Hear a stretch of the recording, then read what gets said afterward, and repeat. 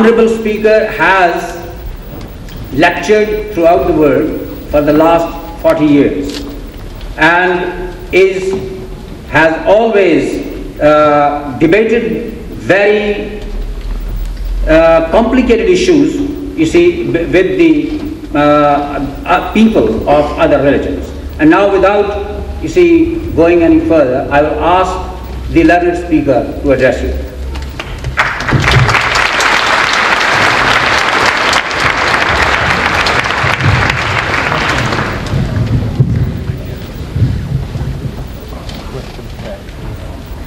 أعوذ بالله من الشيطان الرجيم.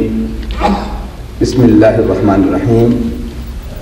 الحمد لله وحده.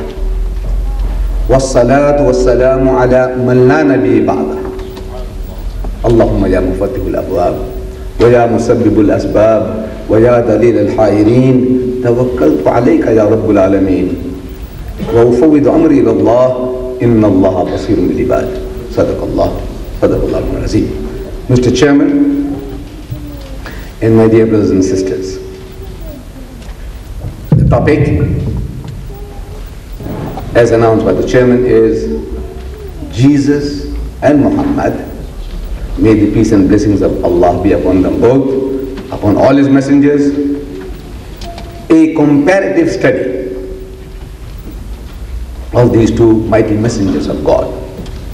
See, in our own language, if we use these names, Jesus, we would have said Hazrat Isa alayhi salam. We would never say Isa. As Muslims, if our learned men in our masjids, in our private halls, Muslim halls, if they came to talk to us, lecture to us, and say Isa for Jesus, we would kick him out. But you see, usage, the Western nations, they call Jesus Jesus because they think he's God. Therefore, there's no mister, there's no reverend, you don't call him bishop, you don't call him pope, you don't call him prophet, don't call him messenger, they just say Jesus. So I can't help it. Because of that, I say Jesus and Muhammad, may peace and blessings of God be upon them both. Where do we begin? The name itself, Jesus. See, I can't keep on saying Sallallahu Alaihi Wasallam, Sallallahu Alaihi Wasallam. Now people don't know what is this guy trying to hypnotize us or mesmerize us. So you will have to bear with me, my dear Muslim brothers. You'll have to bear with me. This is how the Westerner understands Jesus. See, at the debate that took place on Sunday between myself and an American Palestinian Christian from America, Dr. Of the objections he had against the Quran was that in the Quran, the name for Jesus is Isa. We say Isa alayhi salam, is Isa. And he said that, is, that was not his name. In his native language, in the native language of Jesus, his name was Esau. That's a common name among the Jews, Esau. The classical for Esau is Yeshua.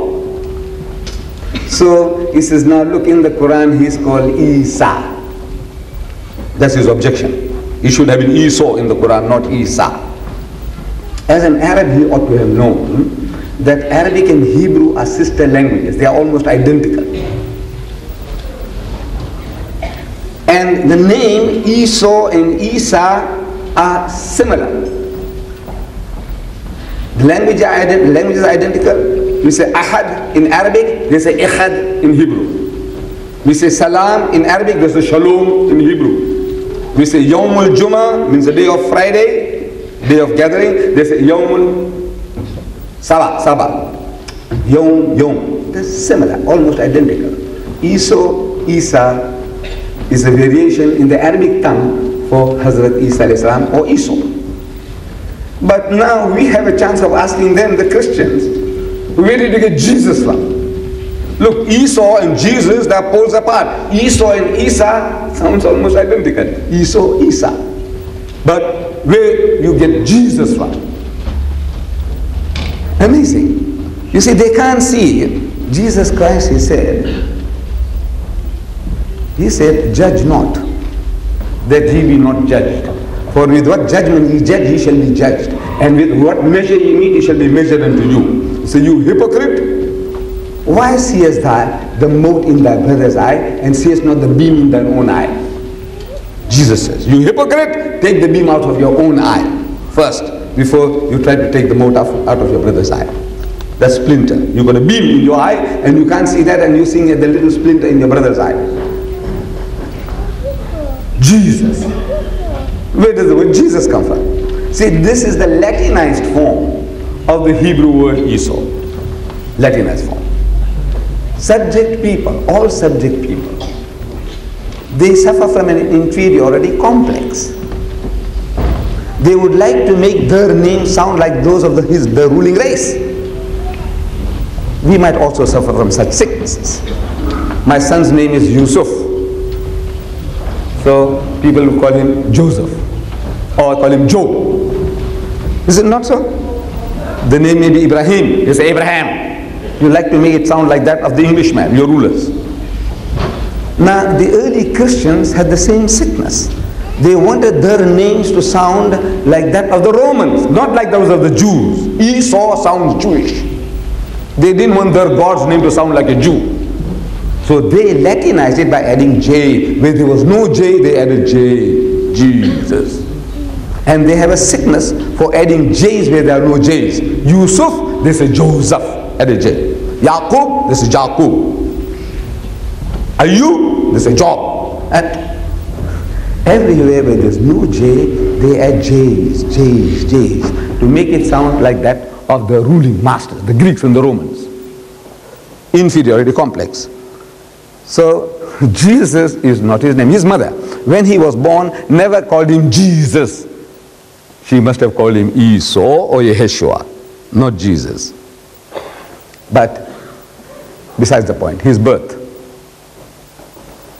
According to the teachings of Islam, our Nabi Kareem sallallahu wasallam, he made us to accept that Jesus Christ, Christ again, is another word which they have translated from Masih, Messiah to Christ. Sounds like Greek, Roman. Saul, Saul, one of the self-appointed disciples of Jesus, they call him Paul, Paul. See, Saul sounds Jew, Jew. So they make it Paul, Paul. Peter, Peter. Peter was not the name of Peter. Nobody ever called him Peter in his life. You know St. Peter's in Rome? Peter. St. Paul, Paul was not Paul, he was St. Saul. St. Peter was St. Simon. His title was Cephas. Jesus said, You are Kephas. Kephas means you are a rock. You are a hard, hard fighting fellow, you know, hard hearted fellow. You are Kephas. Kephas in Hebrew means a rock or stone. So they translated that into Greek, Petros. And from Petros they got the word Peter. See, sounds Greek or Roman, Peter. But you say Simon Kephas sounds Jew. They didn't want the heroes to sound Jews. So they change the names. We in Islam are made to believe through the lips of the Holy Prophet Muhammad that Hazrat Isa salam, Jesus Christ, was one of the mightiest messengers of God. We believe in his miraculous birth, that without any male intervention he was born. We believe in his many miracles, including those of giving life to the dead by God's permission and of healing those born blind and the lepers by God's permission. We believe.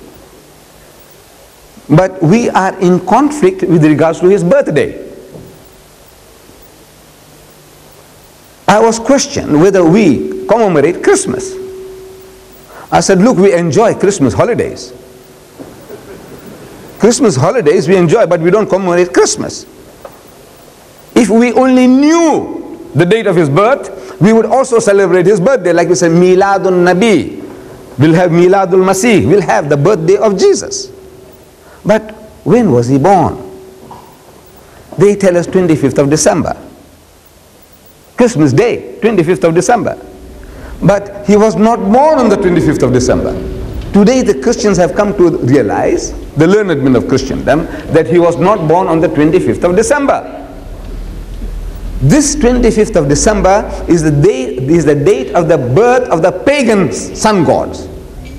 Not the Son of God. Son of God in inverted commas, not the Son of God, but the Sun God. You know what it means? You see, you people here, this is the northern hemisphere. I come from the south. This is the northern hemisphere. And as winter approaches, December, it gets colder and colder here for you people.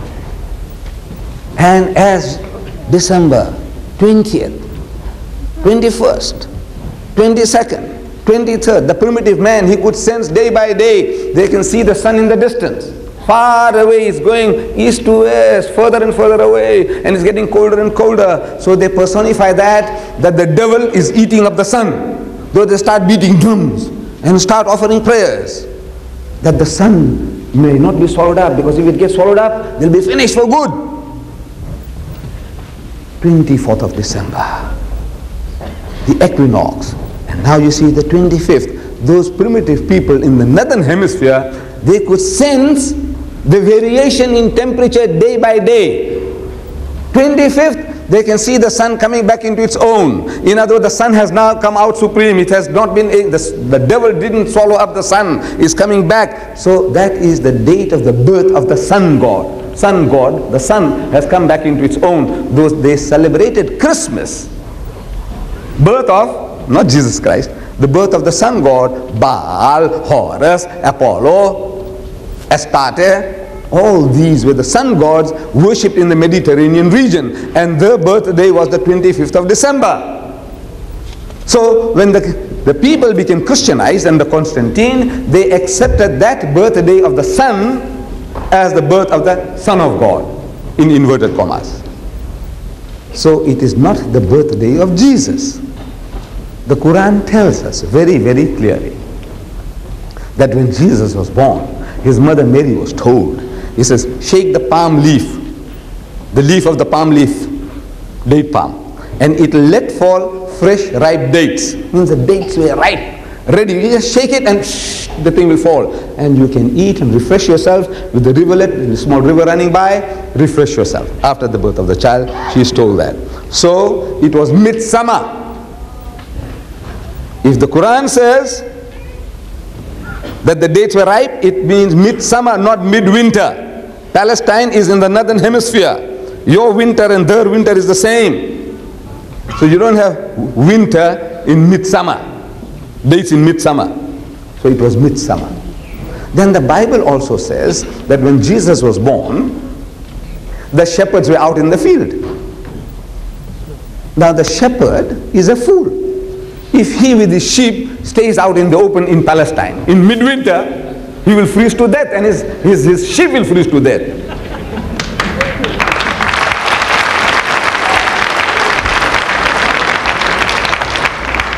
So if you reason the Quran and the Bible, they both confirm that Jesus was not born on the 25th of December in midwinter. But now because of that, men of learning in the West, they are now supposing that this Jesus was a myth, is a fairy tale, because it's connected with all these fairy tales. Jesus was no myth. He was a real historical person. According to the teachings of Islam, we have no doubt about it. That some 2000 years ago, there was a young lady called Maryam, Mary, and she gave birth to a child called Isa or Esau or Yeshua, translated Jesus, and he was born miraculously. But the myth idea is because of this association with the pagan cults, the sun worshipping cults. Now, when we look at Muhammad, a comparison, Muhammad was born some 600 years after Jesus in Mecca. Before his birth, his father died. See, he was the posthumous child, in a child that is born after the death of his father. And Muhammad happens to be the most historical of all religious personality according to Encyclopedia Britannica. No doubt whatsoever about him that Muhammad could be a fairy tale. Most historical, solid down to earth figure. History starts with him. The change of the Arab nation starts with him. The whole Arab world com- com- becomes known to the world for the first time in the history since the creation of the world. Since the creation of the world, the Arabs were an unknown people. Nobody was interested in that human rubbish. Nobody. Alexander the Great passed them by. The Phoenicians, the, the, the, Persians passed them by. The Egyptians passed them by. Nobody was interested in that human rubbish. Nobody. It was after Muhammad that all of a sudden they become known and they become masters of the known world through the blessings of Islam. Before that, unknown. Muhammad is the most historical of all religious personalities. The mission of these two respective messengers of God. Jesus Christ, according to the scriptures, opened his mouth at the age of 30. And by the time it was 33, three years' time, they say that the Jews hanged him on the cross, did away with him as a false prophet, as an impostor, as a liar, as a cheat. They hung him on the cross, three years. The Prophet of Islam opens his mouth, at the behest of God at the age of 40 and for the next 23 years of his life he reformed his people. 23 years. His mission is 23 years. Jesus was 3 years. And the records left behind through the lips of the holy prophet Muhammad sallallahu Allah bari ta'ala gave this book. Muhammad left this record behind. The holy Quran. A complete record Everything that the Muslim ought to know, his duties and obligations, are all given in this book. You don't have to fumble for knowledge, for directions. It's all given to us. In the case of Jesus, Jesus himself, he did not write a word in his lifetime, not one word. In his lifetime, nor did he dictate to anyone to write a word and nor was a word written, not a, not one. What we have today is a record long after him written down by persons called Matthew, Mark, Luke, John, Peter, James, Paul, and on and on. And that record is a record about Jesus. It's not his record, it's not what he said. This book, this is the Holy Bible, in this Holy Bible is called the Old, there is an Old Testament and the New Testament. The New Testament is supposed to be, according to the Christian missionaries, that is the Injil. You know, we Muslims, we say we believe in the Injil. Of course, we believe in the Torah, we believe in the Zabur, we believe in all the holy scriptures originally revealed by God Almighty. Among them we name Injil. So they say this New Testament is the Injil. But let us see what they, the Christians themselves, they say. Here is a Bible, very beautiful Bible, very expensive Bible, this particular one here. This was presented to me by Dr. Shorrosh. If you see the tape of the debate with him in the Royal Albert Hall, you will find him, you know, with, he starts with his Arabic introduction, beautiful introduction. Arabic is his mother tongue. And he says, you see, we Arabs, when we go to meet a friend, we don't go empty handed. We must present them with something. And this was in a green parcel. He handed it to me. I didn't know what it was, but I took it. But I found this very, very helpful, very valuable, invaluable. See, this Bible here is unique from many points of view. In this, that this particular Bible is called a red letter Bible. I don't know whether you heard. How many of you heard about a red letter Bible? Yes. What? Hardly anybody. Two. Red letter Bible. You know what is a red letter Bible?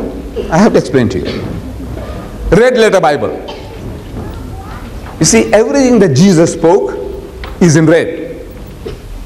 So it makes it very easy for you to know which are the words of Jesus. Because in the New Testament, there are 27 books.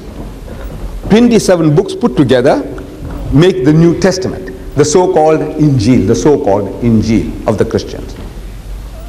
But these 27 books, how are you going to find out, sift out what Jesus said and what he didn't say? What Jesus said, you got time for that? Who's got time for that in modern times?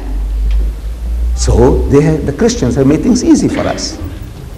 They now, they put everything, every word of Jesus is in red, the rest is in black. So it's two color job, black and red, black and red. It also makes it easy for us now to find out to what extent is the New Testament the words of Jesus. So it's only about 10%. 90% has not got nothing to do with Jesus. 90%. Not even out of the 27 books in this particular one, this particular Bible is the King James Version, and they tell you in the preface, this is the fifth major revision. You know what's a major? You know, minor, small, major, big. The little children, they can't testify in court because they are minors. Major, grown up. Major, big. So this is the fifth major revision of the King James Version. King James, one of your kings here, in 1611, he had this Bible produced. It carries his name still today. But this particular one, by now, five times they made changes, big changes, not tiny things, major. That's what they say, and the Englishman knows what he's talking about. When he says major, he means major.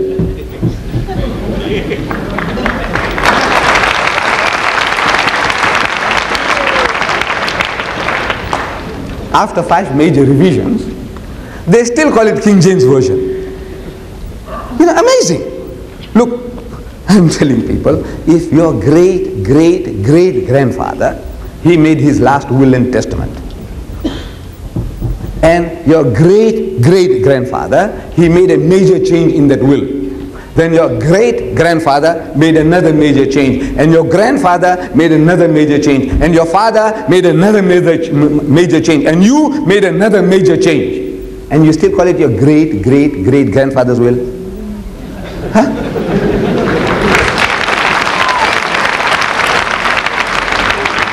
You know, poor King James, if he knows what's going on in his name, he will be twisting in his grave.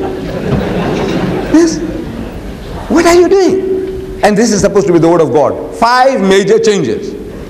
And when I start giving you the changes that they have made, it's chalk and cheese. You know, pulls apart. Things are taken out and thrown away without explaining why.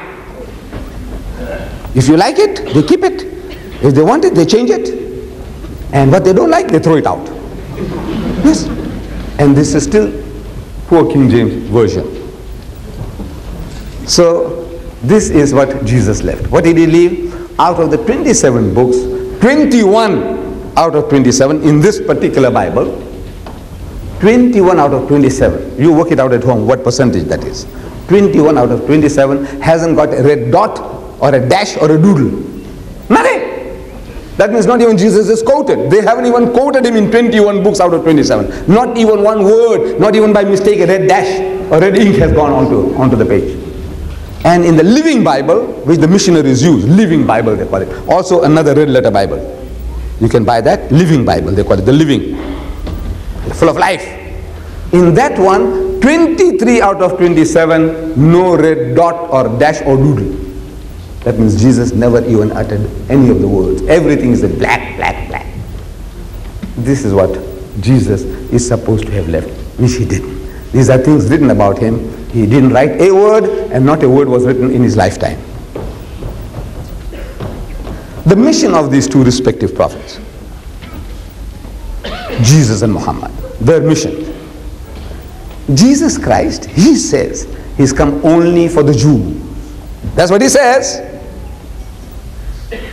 in the Gospel of St. Matthew, chapter 15, verse 24, you read there that a Greek woman comes to him with a problem. Her daughter is seriously ill.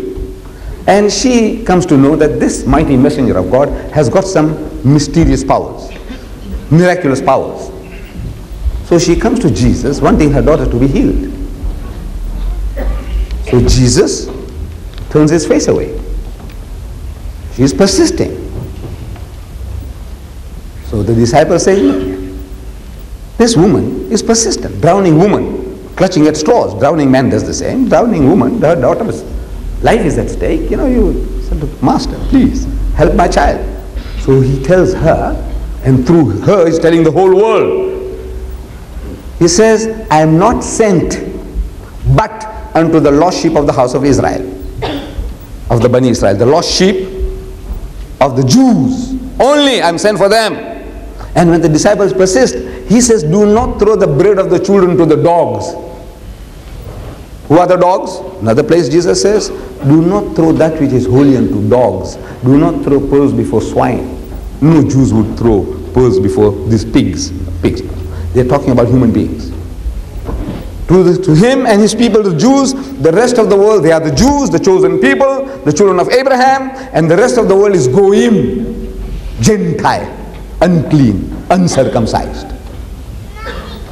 So he says, do not throw the bread of the children to the dogs. Who are dogs? All those are non-Jews. You, me, the Britisher, the whole bang lot. We are all dogs and pigs, according to the scripture. All, everyone is dog and pig. Not, I have not come for that. But this poor woman, her child's life is at stake. What does she do? She says, Master, even the dogs have crumbs, crumbs, you know, from the master's table, crumbs. So Jesus says, give her the crumbs. Crumb is the healing. Give it to her. And she was healed. The child was healed. Thank God. But that's the crumbs. The blessings, the teachings are not for the Gentiles, not for the non-Jews. They are all dogs and pigs according. He's telling his disciples. He said, Go ye not into the way of the Gentiles. And into any city of the Samaritans enter ye not. But go ye rather unto the sheep of the house of Israel. Throughout his life, throughout his life, he never preached to a single non-Jew. Among the 12 disciples of Jesus, not one was a non-Jew. The Jews, Jews, Jews, 100% Jews. He never preached to the Greeks, he never preached to the Romans. He never preached to the Palestinians. He preached only to the Jews. They are his children, according to the scripture. But of course, if people want to go and take it, because they say, well, look, we are hungry, we are dying, that's their business. But according to Jesus, he said, look, these are all dogs and pigs, and they don't deserve these blessings, the spiritual teaching which he has brought for his own children, the children of Israel, the Jews.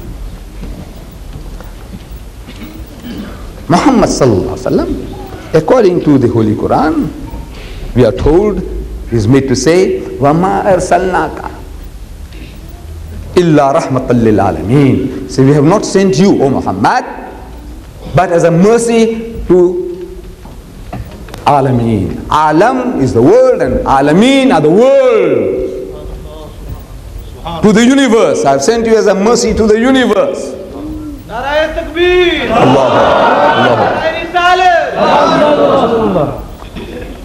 This I quoted you, this ayah, from Surah Anbiya.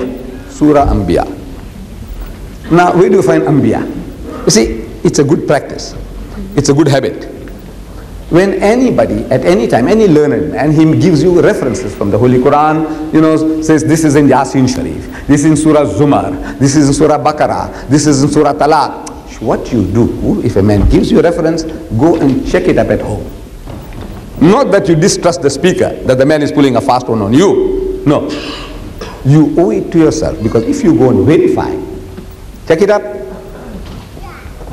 what happens while you are reading it for yourself now, what you had heard, it refreshes your memory. And once you read it and allow the thing to penetrate through your mind, it becomes your property, that knowledge.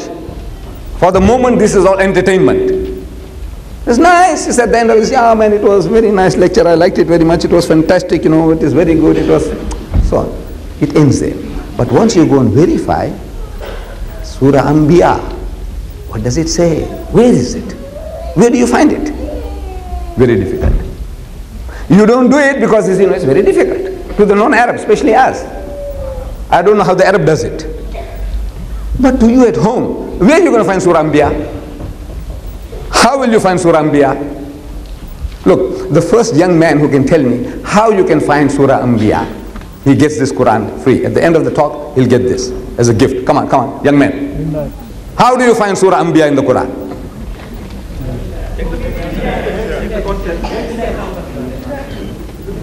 Index, yes. You look at the index. This particular one here, you will get the Quran at the end of the talk. You see, at the end of this volume, this is by Abdullah Yusuf Ali. They are available here in the foyer. At the back of this, at the end of it, there is an index, a very comprehensive index. What do you want to know? Anything you want to know. But Allah says you, open the index. And in the index, I said, now here I said Ambiya. So under A, just like in a dictionary, look for Ambiya and it'll tell you Ambiya is chapter 21. 21 is easy to find because every page is numbered. Then I will tell you now is ayah number 107, 107. Easy to find. Once you find 21, 107 is easy to find. Everything on your fingertips. What do you want to know? Marriage and the M. You know about divorce and the D. You know about Jesus. What do you do? Open J in the index. J, and it'll tell you Jesus. Under Jesus, you'll find numerous headings. You know, Jesus Christ is mentioned in this book, in the Quran, no less than 25 times. Do you know that? No less than 25 times.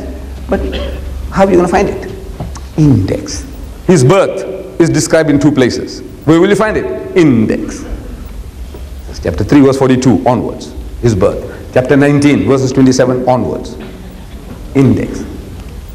Find it, refer to it, read it, and share it.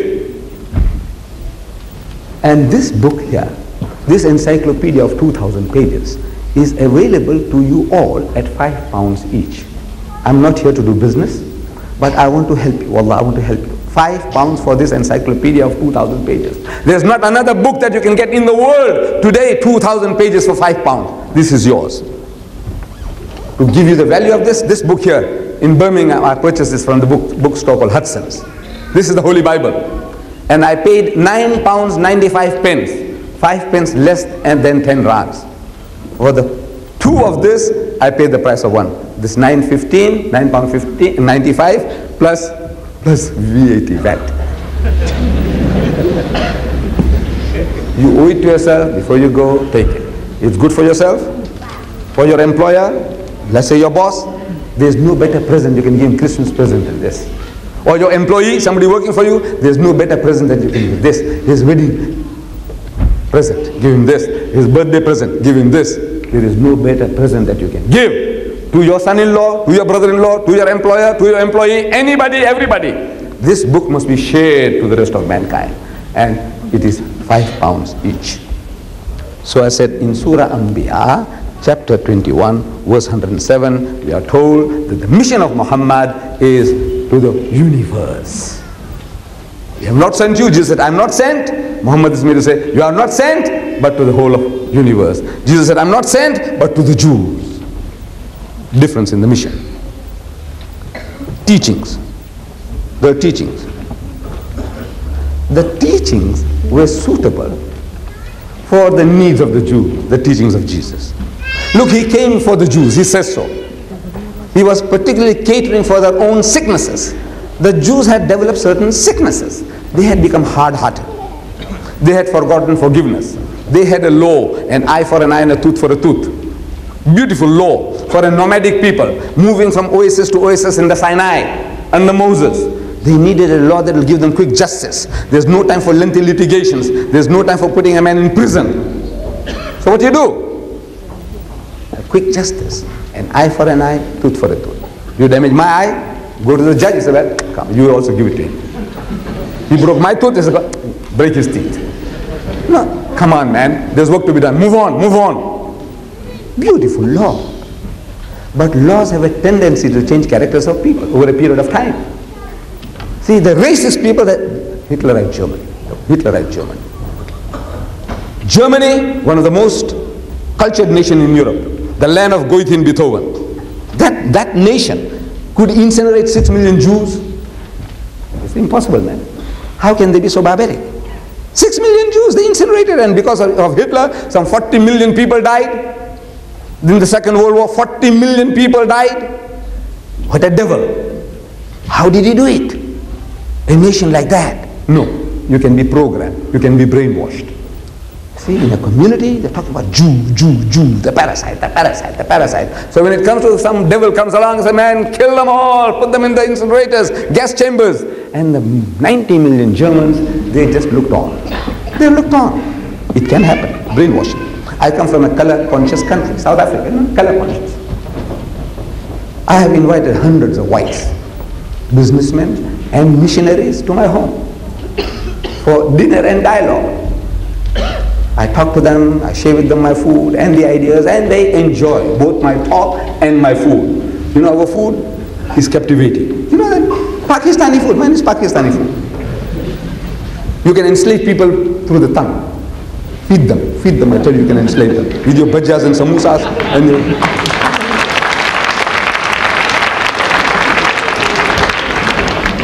So they enjoy my food, they enjoy my talk. And when they part, profuse thanks. And subsequently they meet me in the street. They want to know how's the missus. Convey my regards to her. But no white man has ever called me to his house for a cup of tea. Yet.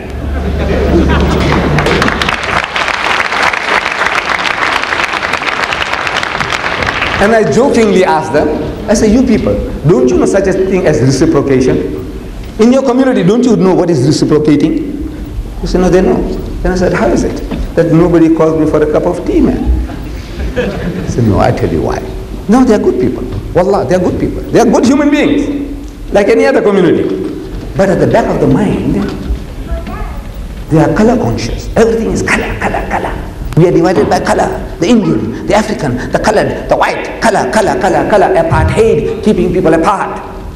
So now, I give them a heavenly treatment. But at the back of the mind, see if I call this fellow, if he comes along with his wife and children, you know, with the, that long dress and that hijab, what you call that, shalwar, and that dupatta, and you know, looking for the house, and people are watching, is where this coolie going?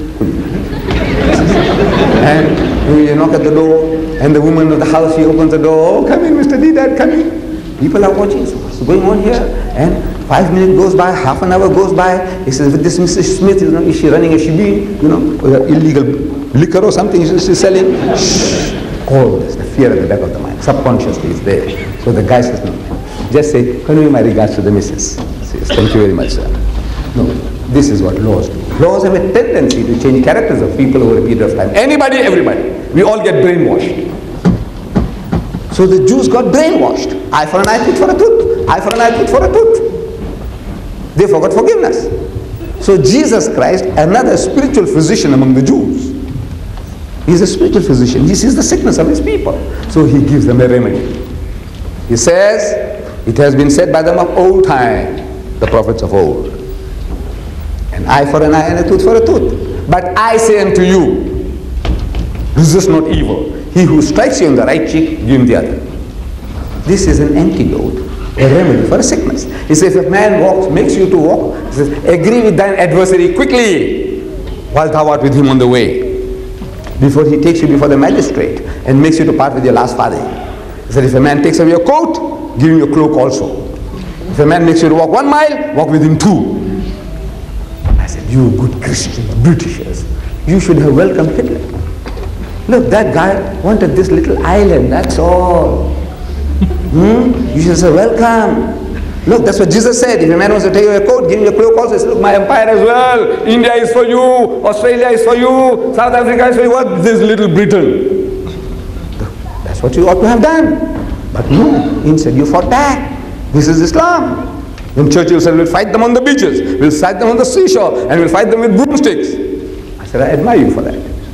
This is Islam teaching you that. Jesus told you to turn the other cheek. Give your, if the man takes your coat, give him your cloak, your trousers also.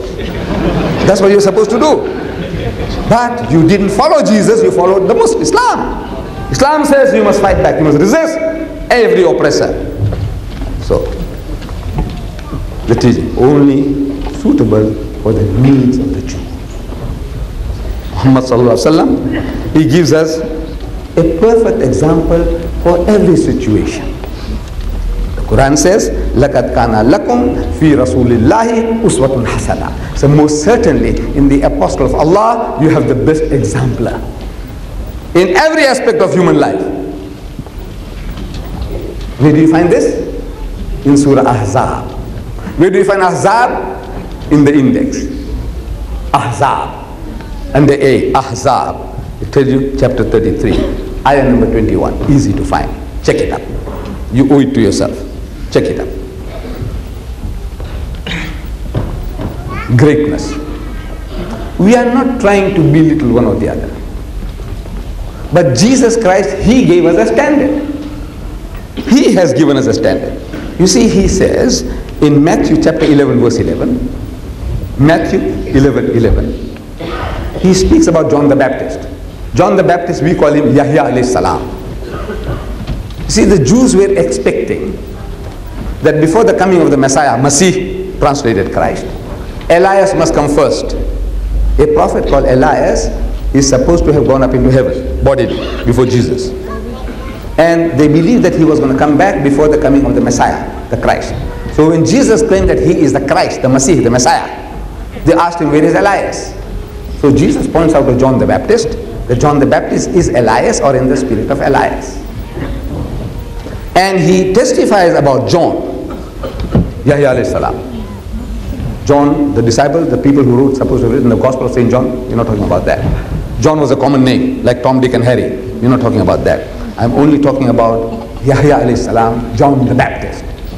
So Jesus speaks about him and he says, among those born of women, everybody is born of woman. A woman carries every human child. Among those born of women, there has not risen another greater than John the Baptist. The greatest prophets of among Israelis, Israelis, among the Jews, was Yahya alayhi salam. That's what he said. But he says, he is greater than John. For the works, the works the Father has given me to accomplish. Allah Bari Ta'ala has given me greater responsibility. The responsibility of John was to prepare the way for Jesus. That makes him great. But now the responsibilities of Jesus are far greater. So the greater the responsibility, the greater the honor, the greater the status. So he says he is greater than John because of the work that the Father, means God Almighty, has given me to accomplish. So the works tells you your status. What work are you doing? Sweeper? You have your position. What are you? Foreman? You have your position. You are a manager? You have your position. You are a director? You have your position. Everyone has his position according to his responsibility. So the greater the responsibility, the greater the honor. Natural. The responsibility of Jesus was to reform the Jew. That's all. Reform the Jews. Take them out, the, out of the formalism, the ceremonialism, the hypocrisies. That's his job. To bring the Jews to the right path. That's his job. That makes him so great about John. Now the responsibility Allah gives the Holy Prophet Muhammad is to guide the whole of mankind in every aspect of human life. And Jesus Christ prophesied about this mighty messenger of God. He told his people in the Gospel of St. John, chapter 16, verses 12 to 14, he says,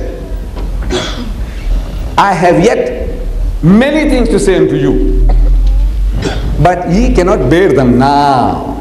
You haven't got that capacity. I want to tell you a lot of things, like the little child here. These are little children. Suppose I met them alone. What, what can I tell them? I will tell them a few stories, small stories, according to the capacity. I have, I have a lot of things to tell people, to give, but I can't. I need the right type of people, mature people who will understand what I'm talking about before I can open my mouth. So Jesus Christ is telling his disciples, you cannot bear them now. Means you haven't got that capacity. And the truth of that statement is written large throughout the Bible. Throughout the Bible. Again and again, Jesus Christ tells his disciples, He said, Ye of little faith. Ye of little faith, the Iman. Ye of little faith. How many times? Again and again. And he explains to them as if he's explaining to little children, and they can't understand. So he said, I even yet without understanding, yet you can't understand what I'm telling you. I'm trying to explain to you like little children. And when he's provoked further by his disciples, he says, Oh faithless and perverse generation. Faithless and perverse generation. How long shall I be with you? How long shall I be? How long shall I bear with you? I'm saying that if Jesus was a Japanese instead of a Jew, he would have committed that honorable harakiri, suicide. But he's a Jew. Life is dear to him. He can't. Otherwise, as a Japanese, he's out of this world. Suicide. So what can he do? He said, I got many things to tell you, but you can't bear it. Therefore, he said, howbeit, when he, the Spirit of truth, is come, he will guide you into all truth. For he shall not speak from himself, but what things so shall he hear, that shall he speak. And he shall declare unto you the things that are to come. He shall glorify me. They are asking our Christian brethren, these missionaries, ask them, who is the Spirit of truth? They say the Holy Ghost, the Holy Spirit.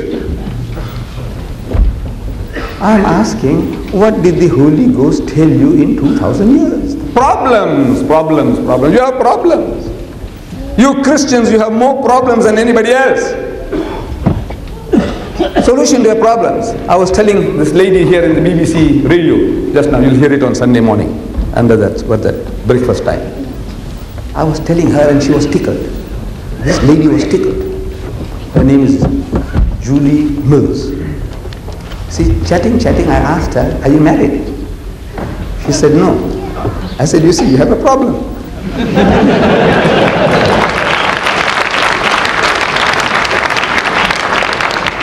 I said, you know, there are four million of your sisters and your aunties. If every Britisher gets married, still there'll be four million who can't get husband. But the same man, I'm telling her, he can keep a dozen mistresses. And he can get a dozen illegitimate children every year. And your nation, see, he's a stud. He's a stud. He's a great guy.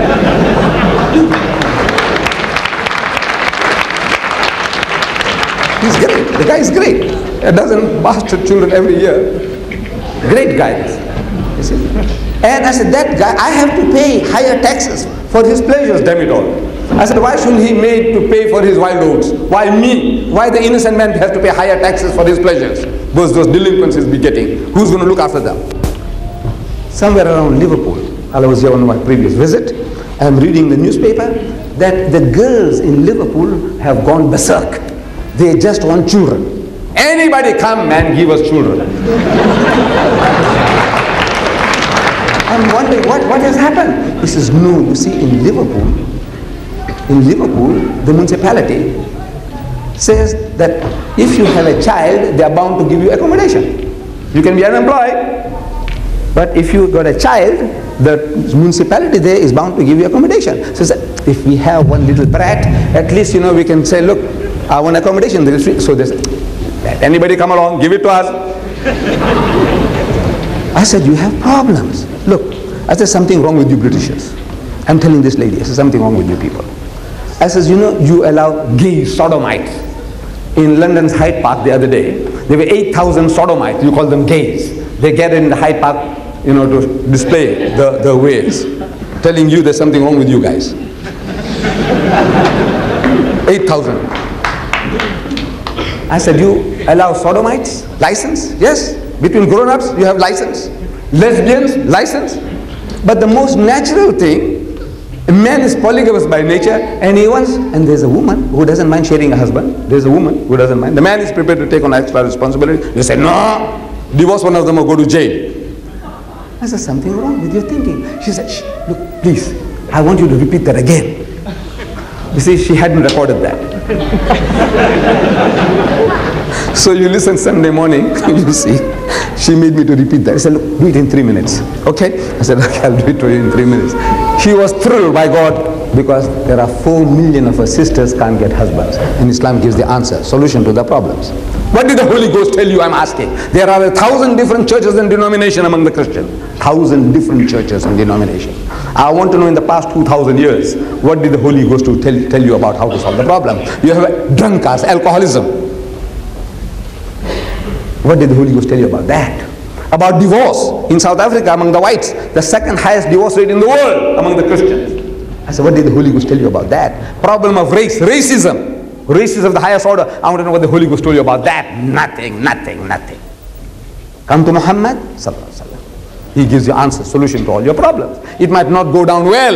You're used to a certain way of life, but if you laugh, I said the laugh is on you. You simmer in your soup. He'll guide you into all truth. Jesus says, I have yet many things to say unto you. Many means more than one in your language. He will guide you into all truth. All is more than one in your language. Am I right? All it means more than one. Many means more than one. I said, look, I don't want more, more than one. I want only one. Just give me one new thing that the Holy Ghost gave you thousand million Christians in the world today. One new thing that Jesus Christ already didn't give you in so many different words. Give me one. And in 40 years, no Christian born has been able to come forward and say, look, this is what the Holy Ghost taught us how to solve the problem.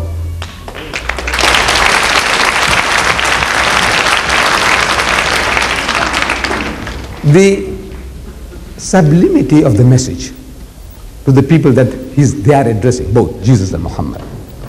Jesus Christ tells his people, He said, If you love me, keep my commandments. Beautiful. Allah, beautiful. if you love me, keep my commandments. Means listen to me. Whatever I tell you, you do. You love me, then you listen to me.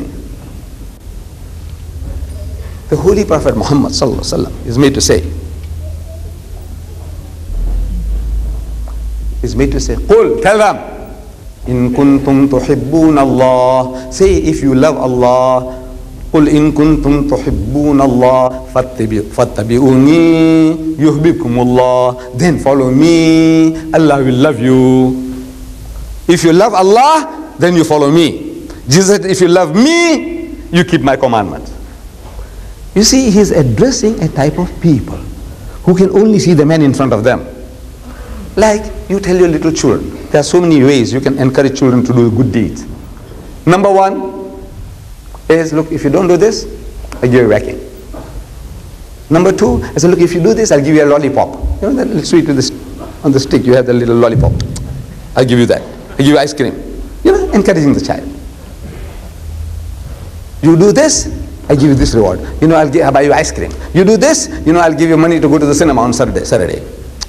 Depend now, you're bribing the child, encouraging the child to do good. Do this, you clean my car, I give you 20 pence.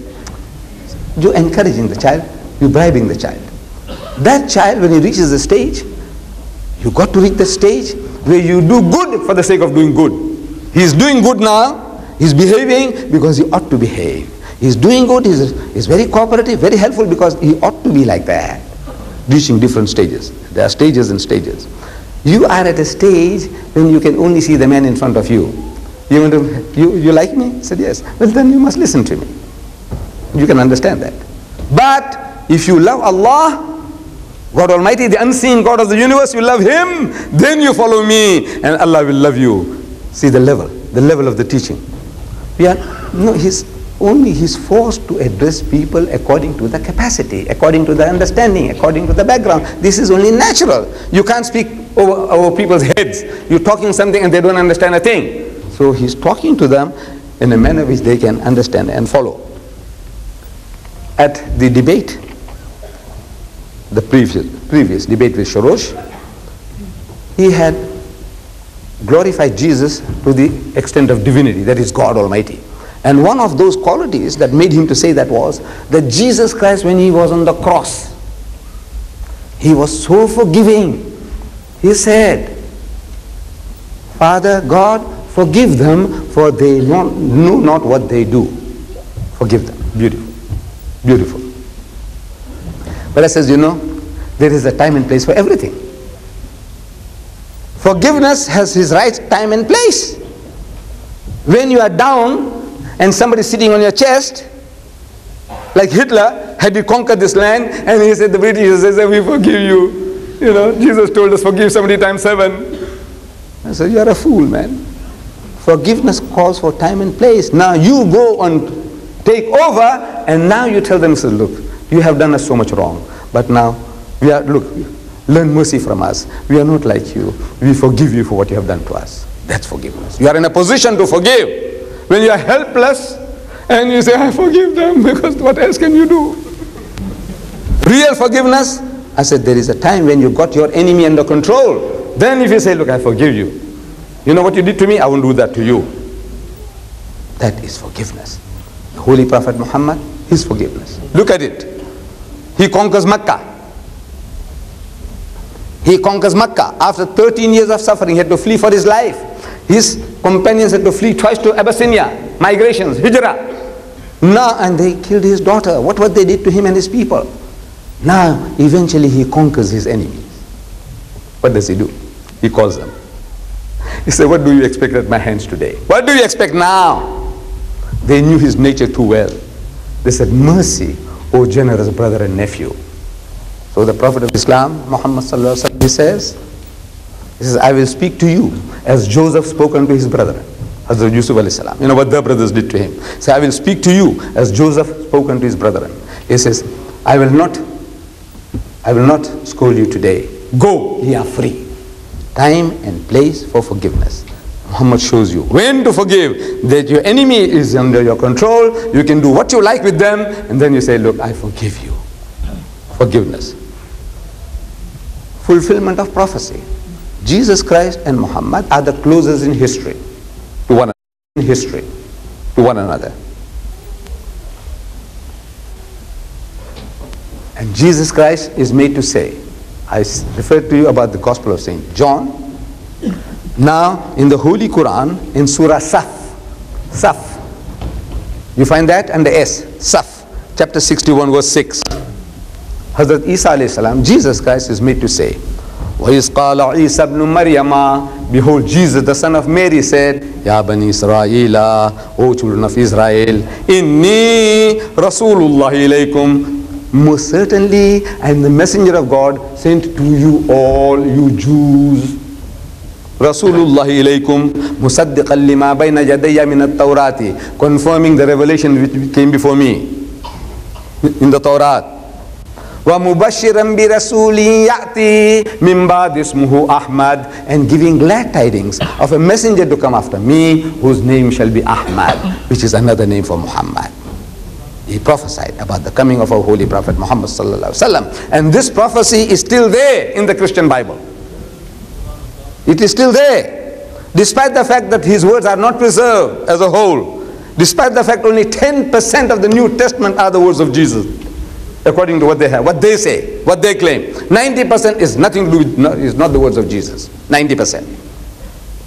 Still, this prophecy is still there. Where? I was showing it to an Egyptian lady. See, I was in March, I was in Egypt. I had some visa problem. I won't go into details.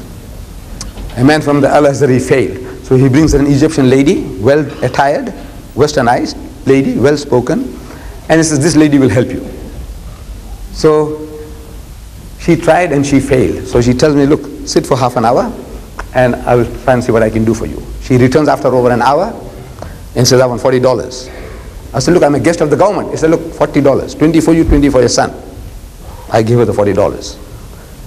She was so well spoken, so I'm asking her, Ma ismuki, what little I know, a few words about Arabic. I said, Ma ismuki, what is your name? So she gave me a name. I can't remember because it was so strange to me. Now, I never heard a name like that in my life. It went through one side, came out the other side. my second question. I said, Anta Muslima? Are you Muslim? She says, no, I'm a Christian. So I right, right. To me, she's my customer. Look, this is what the Muslim ought to be doing, looking for customers. Every Muslim, you know one fact, look for a customer for that one fact. Our Nabi Kareem sallallahu alaihi wasallam, the Holy Prophet Muhammad, said, "Ballighani walau ayah." Deliver the message regarding me, even if it is one verse. If you know one fact, give it, man, give it, and Allah will give you more. This is the secret of knowledge. If you have one, you give. That one, you keep on giving, and Allah adds another and another, and your knowledge explodes, expands. This is the secret of learning. Give, man, give. So I said, now here's an opportunity. I said, you know, knowing now she's a Christian and she's an Egyptian. So I said, you know Jesus, before he parted, he said, لكني أقول لكم الحق إنه خير لكم إن أنتلك لأله إن لم أنتلك لا يأتيكم المؤذي ولكن إن ذهبت أرسله إليكم I didn't translate it for her because she understood what I said. For your benefit, what I said was, I quoted her from the Gospel of St. John chapter 16 verse 7, where it says, Nevertheless, I tell you the truth. It is expedient for you that I go away. For if I go not away, the Comforter will not come unto you. But if I go, I will send him. That's what I quoted her in Arabic. So I'm asking her, who is this Muazzi? La yati kumul Muazzi. So she says, I don't know. So I'm telling her, I said, you see, in the Quran we are told that Jesus said to his disciples, وَمُبَشِّرًا بِرَسُولٍ يَأْتِي مِنْ بَعْدِ اسْمُهُ Ahmad and giving glad tidings of a messenger to come after me whose name shall be Ahmad which is another name for Muhammad and Muhammad is Muazzi. She says, very funny. He says, you know these Egyptians, meaning the Muslim Egyptians, they, they take us to the cinema, they take us to the dance, but nobody tells us about Muazzi. She gave me a sledgehammer to beat the Muslims with. Look, she says, these Egyptians, means your Muslim brothers, they take us to the cinema, this Christian woman, you take them to the cinema, you take them to the dance. And you know, from there where you go. But nobody tells us about Muazzin. So now as soon as I get into the city, I meet this elite, elite Egyptian brothers of ours. And I'm telling them, I said, look, I met an Egyptian woman just now. Meticulous person, very well educated. And this is what she tells me, that you take them to the cinema, you take them to the dance, but you don't tell them anything about Muazzin. Is it true? And they say yes. Our brother say yes. Ask another girl. I said, is it true? He said yes. Everyone you ask, is it true? What she says? He said yes. So what's wrong with you? 1,400 years you are there. The Muslim. In Egypt, he's ruling, he's the master. For a few years, the British were there. They were masters. For a few years, the French were there. But overall, for 1400 years, the Muslim is master of Egypt. Overall. 1400 years. And in 1400 years, you have not not made even a scratch on the Christian community. I want to know why. Even now, are you prepared to talk to them? No. Utterly helpless.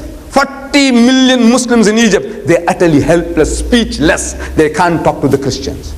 They can't. I want to know why. I'm asking them. I say, you? You Muslims? I say, you read the Quran? In your own mother tongue? He said, yes. I said, you understand what you read? He said, yes. I said, look, my people, you, whether pa Pakistani, Bangladeshi, Hindi, my people, the non-Arab, all my people. I said, you see, my people, they read the Quran, but they don't understand what they read. But you, you understand what you are reading. He said, yes. So I said, Allah is telling you. He's telling us all, but because we don't understand, for us it's water on duck's back. But as is telling you, you Egyptians, Ya Ahlal Kitab, O people of the book, La taghlu fi dinikum. So, O people of the book, meaning O Jews and Christians, La taghlu fi dinikum. Say, do not go to extremes in your religion. Wala taqulu ala Allah illa al-haq. And don't say anything about Allah except the truth. Innamal Masih, most certainly the Messiah, translated Christ. Innamal Masih, Isa ibn Maryama, Jesus the son of Mary, Rasulullah is a messenger of Allah, wa kalimatuhu, and a word proceeding from him, alqaha ila Maryam wa ruhum minhum, which he bestowed upon Mary, and a spirit proceeding from him. Fa'aminu billahi wa rusulihi, so believe in Allah and his messenger, Jesus. Did you tell them that? He says no. The Egyptians are telling me no. I said, Allah tells you. Said, Tell them. Wala takulu salasa. Don't say Trinity. Intahu khair lakum. This is stop it. It'll be better for you. Allahu ilahu wahid. For your Allah is one Allah. He's not three in one. He's not one in three. I said, did you tell them that? He said, no. I said, Allah tells you in the Quran. لقد كفر الذين قالوا إن الله هو المسيح ابن مريم anyone who says that Jesus Christ the son of Mary is God is making kufr it's an act of blasphemy it's treason against God وقال المسيح but Christ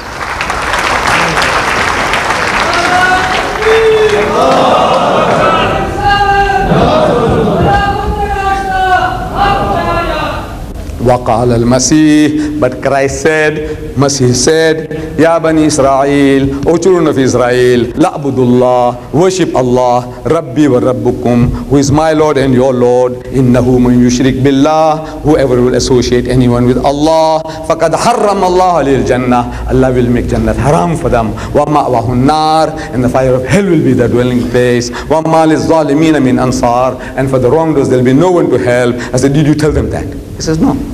Allah tells you, Qul, tell them, Ya al Kitab, O people of the book, O Jews and Christians, Ta'alaw, come. Ila kalimatin sawain bainana wa bainakum, that we come to common terms as between us and you. Let us get out to a common platform.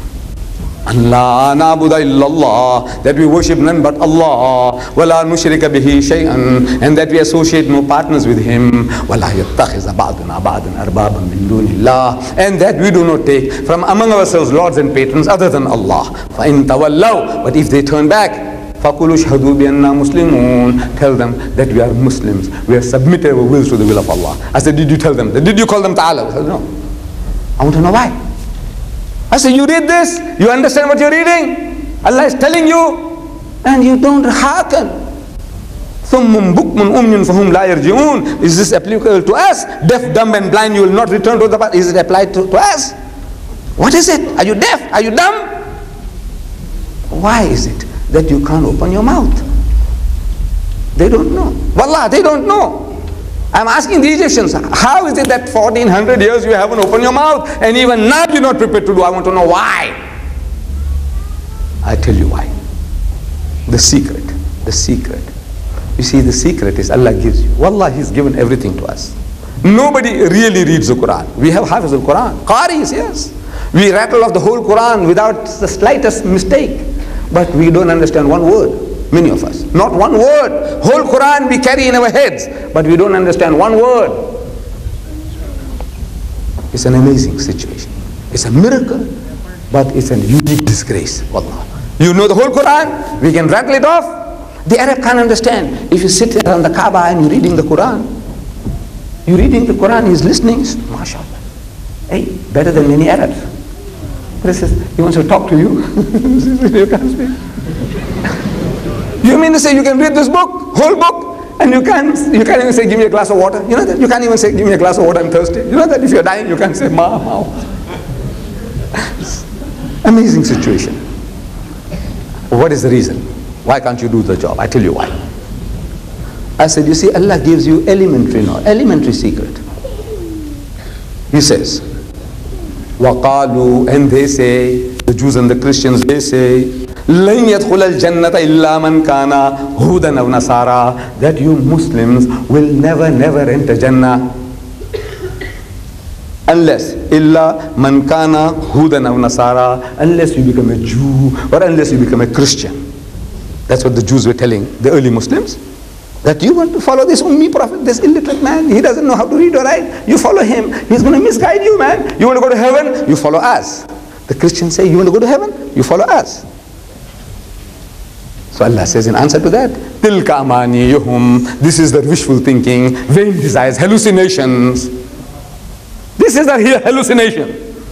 Qul, tell them, Hatu burhanakum, produce your proof, your certificate that entitles you to heaven and destines us to hell. Let's have a look at your certificate.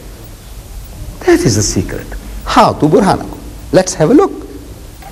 The very fact that Allah commands us to demand proof, it presupposes that when proof is produced, you will be able to analyze it. That's what it means. Once you start doing that, he hasn't got a leg to stand upon. Wallah. There he's got no chance against you. You have to now ask him for proof. But without you asking, he's provided you the proof.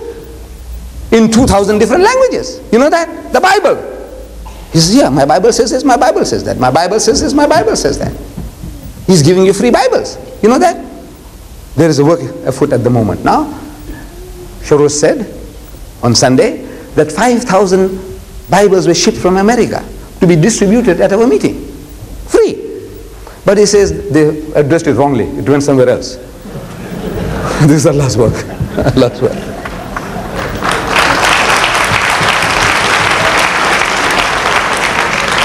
But still they'll reach you. Sooner or later they'll reach you. See, look, they're persistent. They have that persevering quality which we haven't got. They will persevere and they see that you get it. You were supposed to ask them for proof. Without you asking, they say, look, my Bible says this, my Bible says that. Now you're going to swallow that? No. What you do? When Allah commands us to demand proof, it presupposes that when proof is produced, we'll be able to analyze it. Otherwise, it makes no sense. Nonsense. Once you start analyzing it, you find he hasn't got a leg to stand upon. Things that he's telling you is not in his book. Whatever he's trying to teach you is not there. What you do? But get these little books. When you get the Bible, you need this book. As an instruction book, what to do with the Bible. Is the Bible God's word? Get it from the Islamic Propagation Center in Birmingham or start one here in Bradford. We will help you inshallah. Start one here that you can give literature. You master it, you study it, and you help your other brethren. And you share with other people. You don't sit on your backside doing nothing and waiting as a sitting duck, sitting target, using for people, the people to come and practice on you like a punching bag, boxing, practicing on you, using you as a doormat, eating our, drinking our tea, eating our samosas, and then making mess of us. Is that the role Allah has in store for us? No. He says, Allah says, the destiny of the Muslim and Islam is, is that لِيُزْهِرَهُ عَلَى الدِّينِ كُلِّهِ He's given you a deen, there is a master, overcome and supersede them all. So هو الذي أرسل رسوله بالهدى He it is who sent his messenger with guidance ودين الحق and with the religion of truth, لِيُزَهِيرَهُ عَلَى الدِّينِ كُلِّهِ That it may prevail, overcome and supersede every other deen, whether it be Hinduism, Buddhism, Christianism, communism, Judaism, every ism. Islam is destined to master them all, bulldoze them all.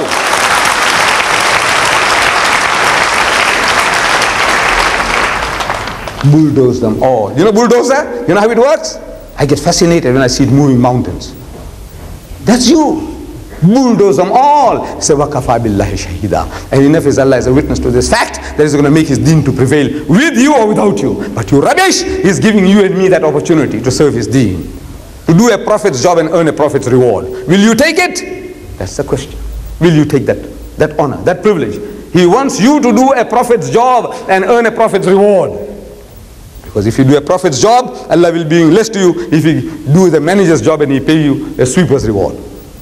Allah is not like that. Do a prophet's job, you get a prophet's reward. And that's your destiny. Bulldoze them all. Not with the gun, not with the grenade. If you had it, even if you had the laser gun, Allah forbids you using it. He says, there is no compulsion in religion. La ikrah. There is no compulsion in religion. Even if you had it, you can't use it. Because force means nothing. It's worthless. We have a few Christian brothers among us, few non-Muslim among us, and listen, I will get you. On. Hmm? Say the kalima, the shahada, the creed of Islam. So what's that? Say La ilaha illallah Muhammad Rasulullah. Otherwise we kill you. So the poor man says La ilaha illallah Muhammad Rasulullah. I'm asking you, what is it worth? Worthless, rubbish. Allah says, no, you can't do that. It must be willful acceptance, cooperation, willingness, getting together, fellowship of faith, get together. And this is the destiny of the Muslim, to do the job. And the way to do the job, you have to master his weapons, the weapon he's carrying. His book, you must know his book. Once you know his book, he is child's play in front of you. So with these words of my dear brethren, I want you to take this challenge up. It's a challenge. Islam is a challenge to them, and to us the whole world is a challenge. We are destined to change the world for Allah. Not for ourselves, for Allah. And the way to do it is you master the weapons of the enemy. Our Nabi Kareem sallallahu alaihi wasallam said, Al-hirbu khat'un. War is strategy, and strategy demands that you use the weapons of your enemy. And the weapon that he uses is the book, the Bible. You master the book and go to town. Wa akhiru dawana alhamdulillahi rabbil alameen.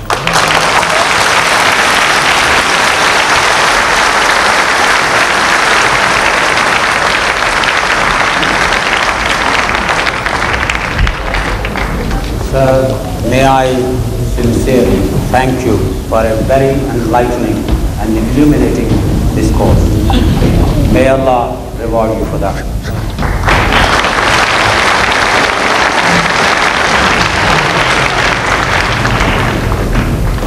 Alhamdulillah, there is a, uh, a, a lady who is, I think, British and Christian. She wants to accept the, um, uh, she, she wants to embrace Islam and become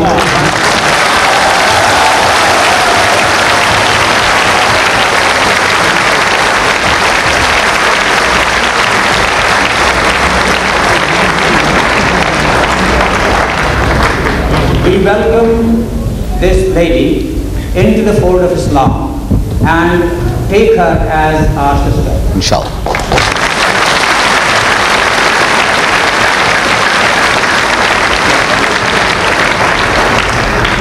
Our revered guest has asked me to let it be known that when the session of questions and answers is over, then this will take place. Inshallah.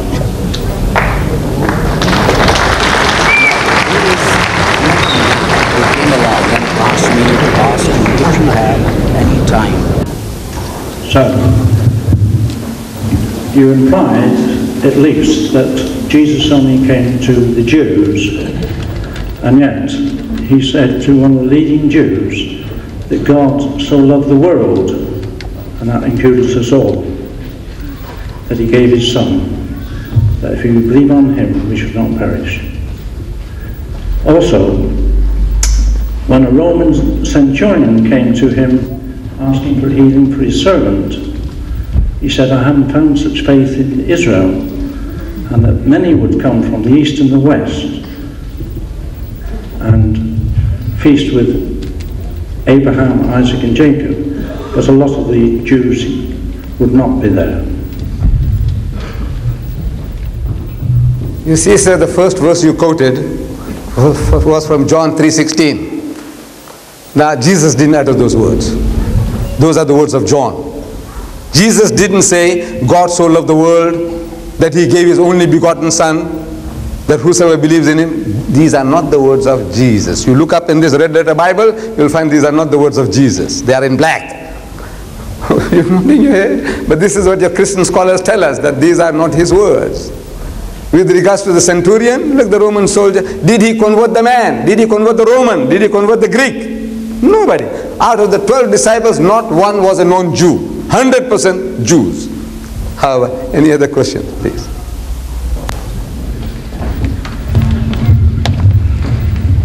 Uh, when I came to the uh, meeting tonight, I wasn't quite sure what I was coming to. When I came through the door, I was left in no doubt at all. Um, I, it was entitled Jesus and Muhammad and thank you for putting Jesus first. Um, I, am sure you'll accept that you did not put the case for Christianity as a Christian would put it. I'm sure you would, and that I can understand in an audience of this, this kind who's already persuaded towards the Muslim way of thinking. Um, and uh, indeed, I would say that I, uh, as an individual, would respect the Quran uh, I'm afraid you did not respect my holy book, which is the Bible, in quite the same way. In fact, I'm a teacher, and in my classroom, I've got a television which is fixed to the wall. And on the top of the television, there's just room to put the Quran because I respect in my, my I've got Muslim children in my school. And I put the highest, I know you respect your book, you want to put it in the highest place. So I do that. I put it in the highest place. Now, what I'm saying to you is this you've not really ex, uh, given, uh, in my opinion anyway, the Christian loving and forgiving, these are the two essential things, although you denigrate forgiveness for some reason, uh, as highly as I would. But more than that, perhaps you answer this point. Um, Muhammad, you talked a lot about Jesus, you talked about, a lot about our holy book. We're not talking much about, uh, about uh, Muhammad, or, or indeed the Quran too much, um, apart from the missionary aspect of it.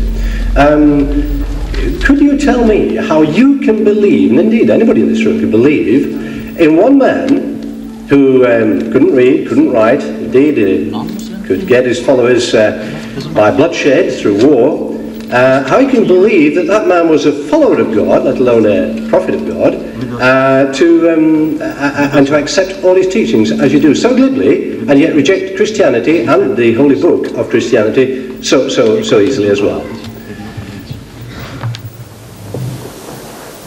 You see, you have thrown in so many things in this little contribution of yours that how can we believe in a man who was illiterate and who by bloodshed who had spread his faith converted the people?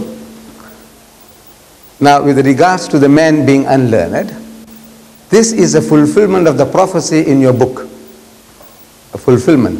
The book of isaiah chapter 29 verse 12 it says there and the book is given to him that is not learned. The book, please, please. The book is given to him that is not learned, saying, read. And he says, I am not learned. Now, if you look for in the religious history of man, in the Bible, you will never find an occasion where any prophet of God, when given the message of God, he says, I'm not learned.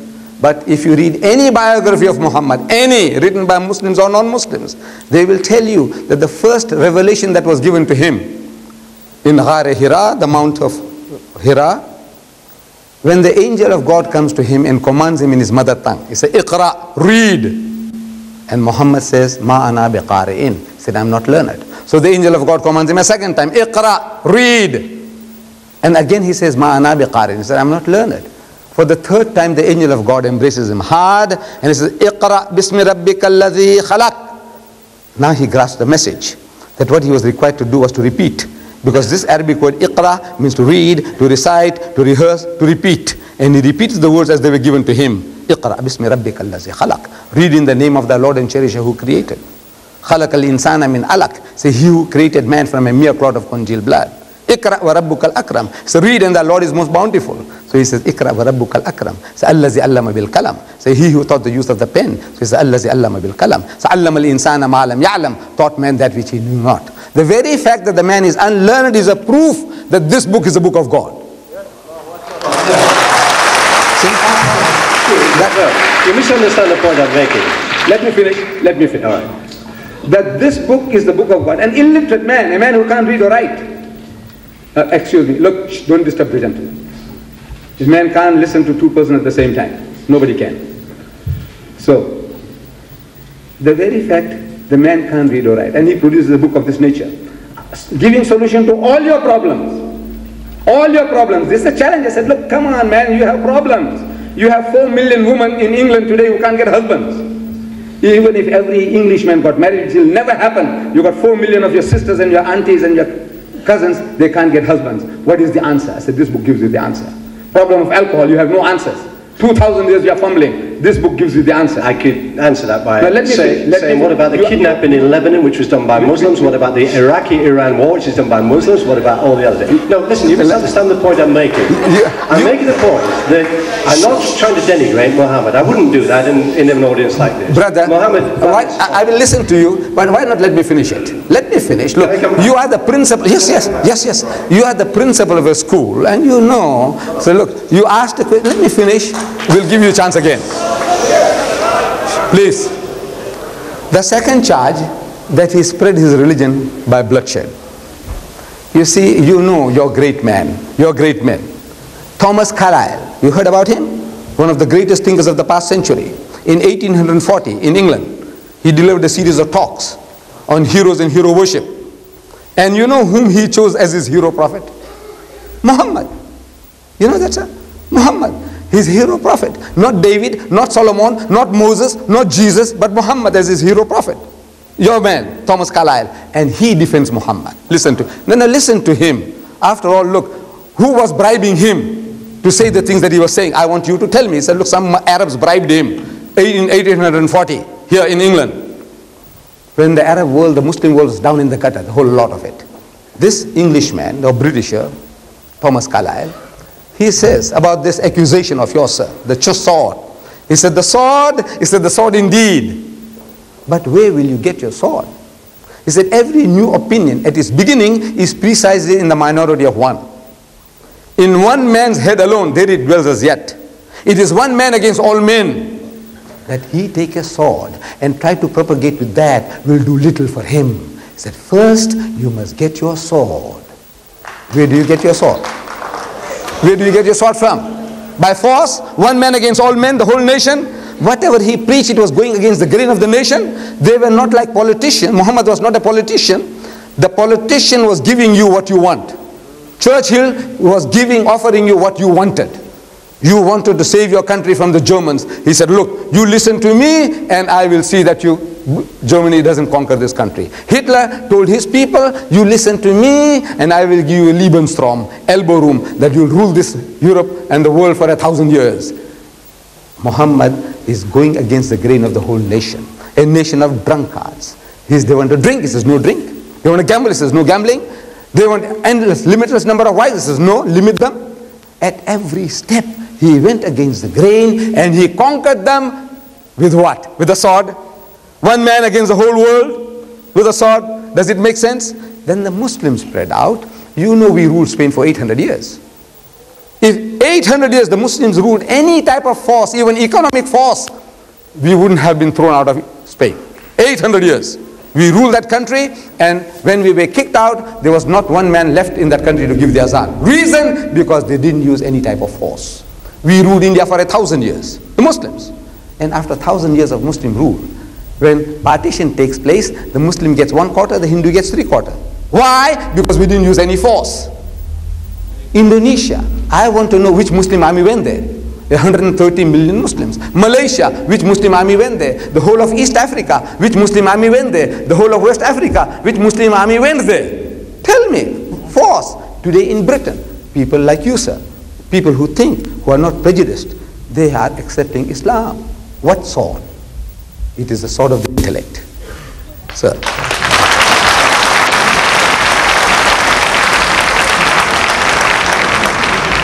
One, one little rule, one little rule, I think the chairman, the chairman forgot to lay down, and that was each person would be allowed one question at a time. No, no, no, no, no, no, no, that, no, no, no, no, that does, no, no, no, no, that doesn't debar you. So one question at a time. Then what the person does, he goes to the back of the queue and takes a turn again. to go now, but, If uh, can I just say that uh, thank you very much for listening, and uh, Jesus is Lord. Amen.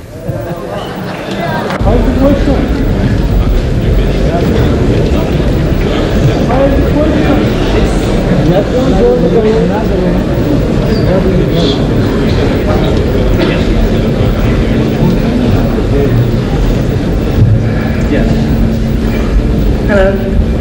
Um, well, I'm a school teacher and I'm a fundamental Christian.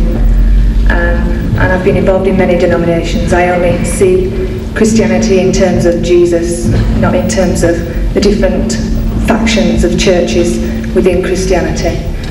And uh, Mr. Speaker, I really am concerned with the um, examples of Christian behaviour which you cited to the audience tonight. Uh, those examples being the, the mothers in Liverpool, uh, those examples being the divorce rate in England, those examples being, you know, the kind of world that we live in, and I agree that England is a desperate place in need of redemption. But, I mean, I believe that's through Jesus. I'm not questioning Muhammad, what I'm saying is I believe in Jesus. But I'd just like to know, do you think that you have given fair examples of Christian people and their behaviour? Do you think those people you quoted as examples are in fact practicing Christians?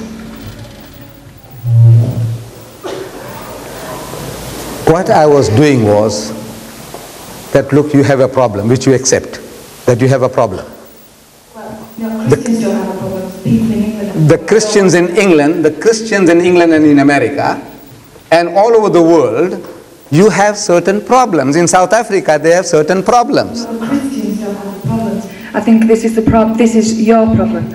Your problem is that you are sort of looking at the culture, assuming because we have a nominal Christian head, that is the Queen, who is the head of the Church of England. I mean, I don't know whether the Queen is a committed Christian. I don't know whether Margaret Thatcher is a committed Christian. I'm, you know, I would be. I'm very concerned that they become committed Christians because they only then are they able to lead the country. Uh, I think the problem is when you assume that the people you quote as examples, divorces and all this kind of thing, then you uh, are in on very dangerous water because you're actually condemning people who are neither are not Christians at all. Do you understand what I mean? So now you have an answer. You see, if you are a Christian, which you claim you are, the Queen of England is not, Mrs. Margaret Thatcher probably is not, you are, you see, you are born again. No, no, you are born again. So you believe that you are a Christian, but the rest of this country who fill the census forms, when they are asked what religion, they don't say Jew, they don't say Buddhist, they don't say Muslim, they put down Christian. yes, So, so right, right. So, You know that, you're a clever man. Can the speaker answer the question? So what you do is they fill the census form as Christians. The Muslims, when they fill up the forms, they also fill as Muslims. That doesn't mean that they're good Muslims. But if a Muslim does something evil, I can't say he's not a Muslim. You see, it's a very easy way out for the Christians. He's not a Christian. I say, well, look, your brother did such and he committed murder. He raped somebody. I Sutcliffe was a Muslim, for example. I feel ashamed. I say, well, he was a very bad Muslim. I can't say he's not a Muslim. You can get out very get off very easily. Say, look, Margaret Thatcher is not a Christian. Botha in South Africa is not a Christian. Reagan is not a Christian. Uh, the Swaggart, you know, he was tantalizing millions on TV. Swaggart, and when you heard him, you and every born again Christian in America, 75 million born again, when they were listening to him, they were adulating him as a Christian. Now, when he's caught out, now, now you say, no, he's not a Christian because he's caught out now. Swaggart got caught out, Jim Bakker got caught out, Marvin Gorman, Reverend has got caught out. So immediately you turn back, he's not a Christian, he's not a Christian, he's not a Christian. Very easy way out. But now you are a Christian, and there are many like you who say you are born again, you're new life. I said, right? So now you have to supply the answer, a solution to the problem. You have four million of your sisters which if every Britisher gets married, they can't get husbands. Now, this, you are born again. Now, how do you satisfy the needs of those four million of your sisters and your aunties who can't get husbands? Now, you work that out and you come back and we listen to you. But if you have to go to the back now, you go to the back.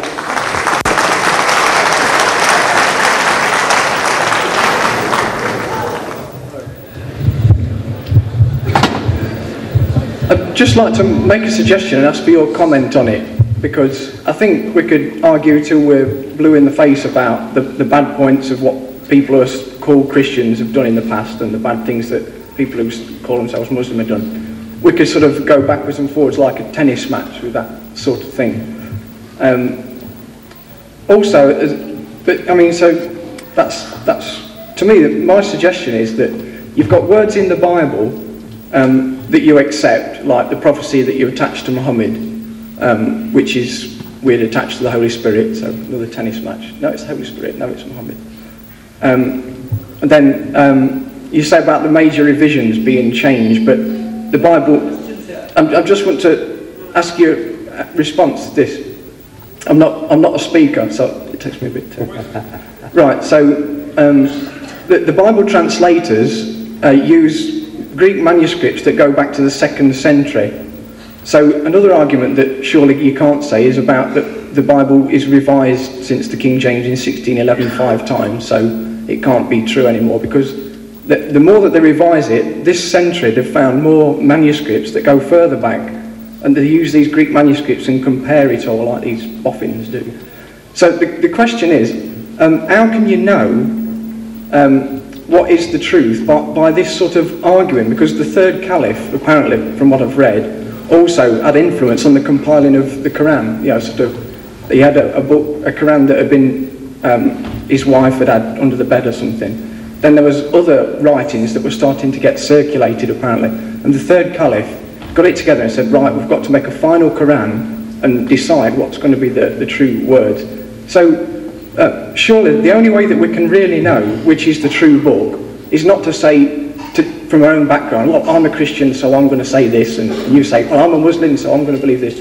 Surely it's to get both books, sit down with both of them, and to say, God, the true God, please speak to me. Read both of them and just ask God to show you. Surely that's the only way. I don't think we could argue till we're blue in the face, but you know, I can say that I love you because Jesus put love in me. So that's the answer for the world. Um, and you could say this and that the other, but surely, what's your response to that? That to sort of get both books and say, God, which is the truth, instead of sort of arguing that the Bible's been changed. You know, they've got second century manuscripts, you know, and the third caliph changed the Quran, you know, maybe. No. Uh, I'll finish that. So, what, what's your response to that? Is is that surely the only answer? Is to just pray instead of using all these arguments? Surely it's to just pray. I mean, what do you think of what? You see, you have been telling us in so many words that let us take these two books and start reading them both and allow God to tell you from heaven. So, look, this is not the book of God, but this is not the Bible, but the Quran, and you will listen. You will listen to that God. If the God, you hear the voice from heaven telling you, he said, Look, this Bible is not the book of God. This is according to Bernard Shaw, your great man, George Bernard Shaw, you know the playwright. He said, This is the most dangerous book on earth. He said, Keep it under lock and key. Your children must not have access to it. That's what he said, George Bernard Shaw. The Plain Truth magazine, you know, Christian magazine coming from America, seven to eight million a month free copies are being given out. They say that many a censor will give it an X rating. I don't want to go into all that. We went through all this on Sunday. But now, you know the guy who talks about God telling him. Marvin Gorman, you know the Marvin Gorman in America, televangelist. That is what he claimed. God talks to him. Marvin Gorman, Reverend Marvin Gorman, he was caught for adultery and he was defrocked by his church. Jim Bakker, God speaks to him. Jimmy Swaggart, in his works, if you ever read them, he says, God speaks to him. He says, My son, my son, and he's telling him what to do and what not to do. But this God Almighty didn't tell him not to go to a prostitute twice a week, twice a month. You know, and what he was doing there. So, The people who are talking about God talking to them, there's some type of sickness. They need psychiatrist. The guy who says, now God, because God doesn't talk like that. He doesn't come to you every Tom, Dick, and Harry and tells him to say, not this book, but that book. If he was doing that, he would have done it to everybody. Everybody would have followed Christ or everybody would have followed Muhammad. God doesn't do that. He has given you intelligence. He has given you intelligence. And that intelligence you have to use. And what I was presenting to you, I said, look, here is a case. Jesus Christ makes a prophecy in which he says, there is somebody coming who will guide you into all truth. Now, you say that spirit of truth or the Holy, is the Holy Ghost. That spirit is the Holy Ghost. So I said, now look, what new things did he teach in 2000 years? Which nobody is coming forward to give an answer. You have Christians here. This young man here, he takes this as an excuse for giving his card. He is a mission for Jesus. He wants to give you a card. I said, look, he was speechless, didn't have one question to ask. There's something wrong. With the Holy Ghost seems to desert people when they come to the mic to ask questions. What is happening? You have the Spirit in you, but nobody asks questions. I said, look, the way is the Quran says how to find out. This book confirms what is right in your book. And it corrects what is wrong. It corrects you. And it supplements things that you don't know, it supplements. This is the claim of this book. Now you analyze this book. You know the Bible already. Now read the Quran is offering solution to your problem. Problem of alcohol. You haven't had it yet. In 2000 years with all your born agains, 75 million born again Christians in America, you haven't got solution to your problems. If you want the answers, the problems, the solutions are here. Open the book and read it. And if you are not prejudiced, not jaundiced spiritually, not jaundiced, you will be able to recognize the voice of God, your master's voice, God Almighty talking. Like Jesus told the Jews, He said, The sheep and the goats, they hear the master's voice.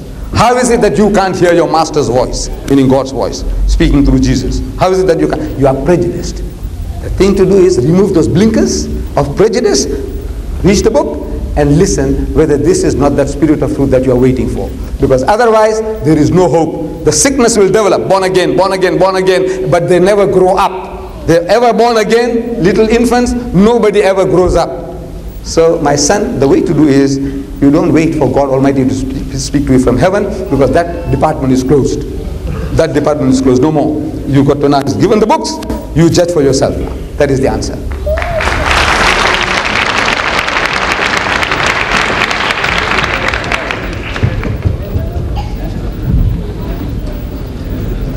Um, I found your lecture very informative and at times entertaining, very interesting to listen to. What I found very sad, I am a born again Christian, what I found very sad was that in 40 years, and correct me if I'm wrong, but I believe you did say that in 40 years, you've never met a Christian who has been able to come to the front and tell you what the Holy Spirit's done for him. Is that correct? I said it. Go ahead. I, I think I said that in 40 years that I'm doing this work, nobody has brought forth one, one new thing that any church, including the born agains, you have to come and tell me that this Holy Ghost came and told you solution to these problems. Where? Which church he came to? When did he come to you? To give you answers for the rest of Christendom that now alcohol, what you do about alcoholism, what you do about gambling, what you do about surplus women, what you do about racism. I want to know what the Holy Ghost told anybody. In 40 years I'm asking, Nobody has come out with one new truth which the Holy Ghost gave to any church at any time. One new truth. If you have it, let's hear. Yes. Well, I should be aware because you're a reasonable man and a deep thinking man. God is interested in men and women. And God is interested in my life. And since the Holy Spirit came into my life, when I became a born again Christian, He's helped me make decisions concerning my money, He's helped me make, he's helped me to love my wife. Individually, any system. See, there are people looking for a way out. Christians are looking for a way out. Some find it in Hinduism. Some join the Hare Krishna movement. Some join the devil worshipping cult. Look, you find somewhere along the line the guy gets caught out, he becomes a Jehovah's Witness. He says he found it. He becomes a seven day Adventist, he found it. Some become born again, this is he found it. The experience this is talking about is something subjective. In other words, human being, anybody, you're looking for a way out, his wife and him must have had quarrels, endless quarrels. Maybe he was imbibing too much alcohol. All these were problems there. He was looking for a way out, and somebody came along with a little charisma and said, Look, my son, allow Christ to come into your life. I say it works. It does work. There's no doubt about that. But Hare Krishna movement also works. Islam also works. Buddhism also works. You are a drowning man clutching at straws. Somewhere along the line, some little help, and you have saved yourself. But the question still remains. Look, you haven't answered the question. 40 years. Not a single Christian in the world of any church or denomination has come forward to say that the Holy Ghost gave my church this solution. The Anglicans, the Roman Catholics, the Presbyterians, the Lutherans come as any church that says we heard the Holy Ghost came and told us how to solve the problem of surplus women, how to solve the problem of alcohol, how to solve the problem of racism. Look, these are individual experiences which everybody is going through at all times. I'm not doubting you, my son. What you said, I believe that your life could be changed, but this does not change 60 million Britishers. It won't change 250 million Americans. You need a way of life, direct instructions which each and everybody can understand in a clear cut language. And this book gives it to you.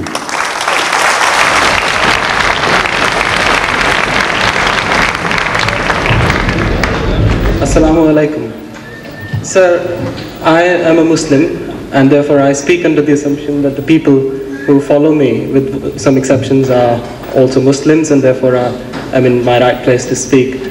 My point to you, sir, is this, that at the start of your uh, well-prepared and well-researched talk, you referred to Jesus Christ as Hazrat Isa alayhi salam. I, as a Muslim, like yourself, believe in Hazrat Isa alayhi salam as a true prophet of God. As your talk went on, I got the feeling, perhaps I was alone in getting that feeling, maybe other people who listened to your talk uh, in an open-minded fashion as I did, I tried to do, I got the feeling that at times, with due respect, you, you appeared to mock Hazrat Isa al-Islam, Nauzubillah. You appeared to mock his teachings.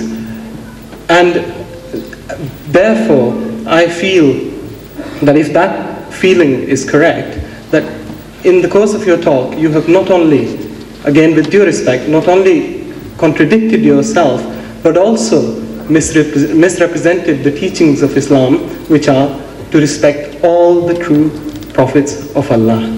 What are your comments on this? Sir?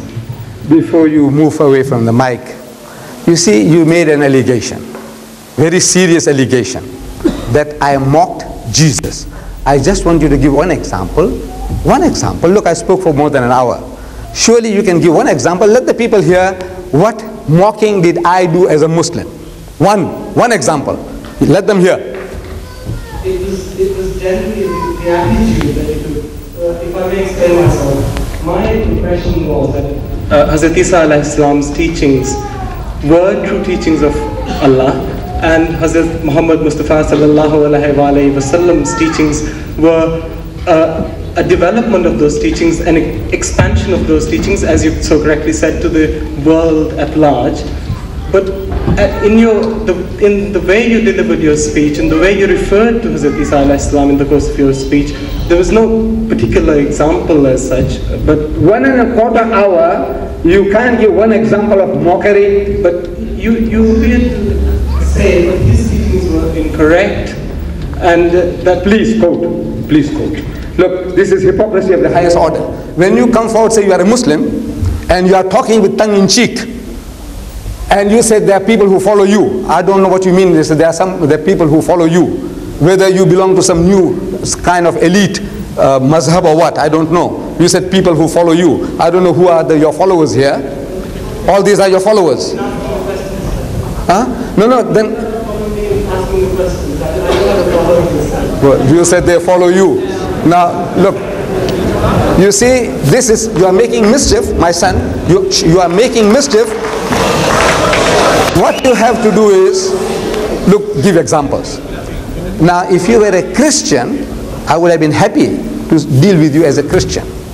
Because if you said I made mockery, I said this is what the Bible says. This is how the Bible put it. He said, O generation of vipers, you whited sepulchres, you wicked and adulterous generation. Now, if that is offensive to anybody, I said, These are not my words. I never spoke like that. I never uttered words to that effect. You see, that you fools, you hypocrites, you brood of snakes. You know who's talking like that?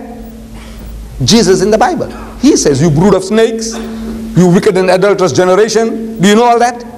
Do you know that Jesus speaks like that? The Christians say, This is how Jesus spoke. You know, he insulted his mother. He said, Woman, what have I to do with you? You know that? Am I making a mockery or is the Bible making a mockery of the man? I want to know. If you were a Christian, I could have asked you, I said, Look, man, you don't know your own book. I am only quoting you what he's supposed to have said.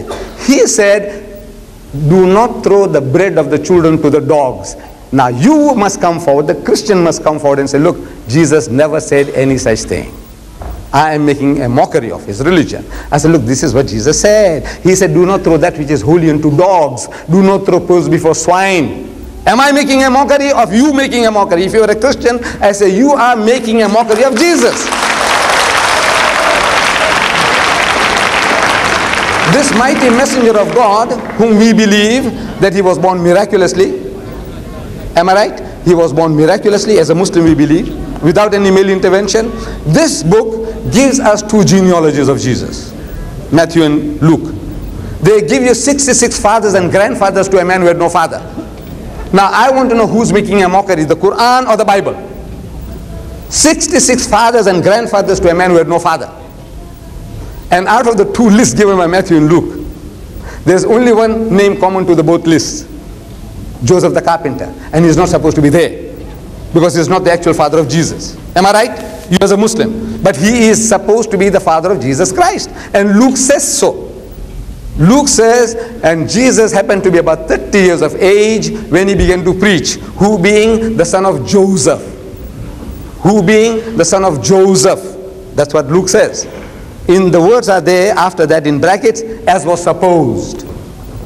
And if you ask any Christian scholar, any Christian scholar, what are these words doing in brackets? They will tell you that Luke in his manuscripts, in the Codex Sinaiticus, Codex Vaticanus, Codex Alexandrinus, these words are not there. These are the words of the editors. So Luke said that Jesus is the son of Joseph. As was supposed are your words, man's words. Who is making a mockery of Jesus? The Muslim or the Christian? So you see, you as a Muslim, it was very, very unfair. The unkindliest cut was from you. I would have preferred a Christian to say that, then I could have presented all these things to him.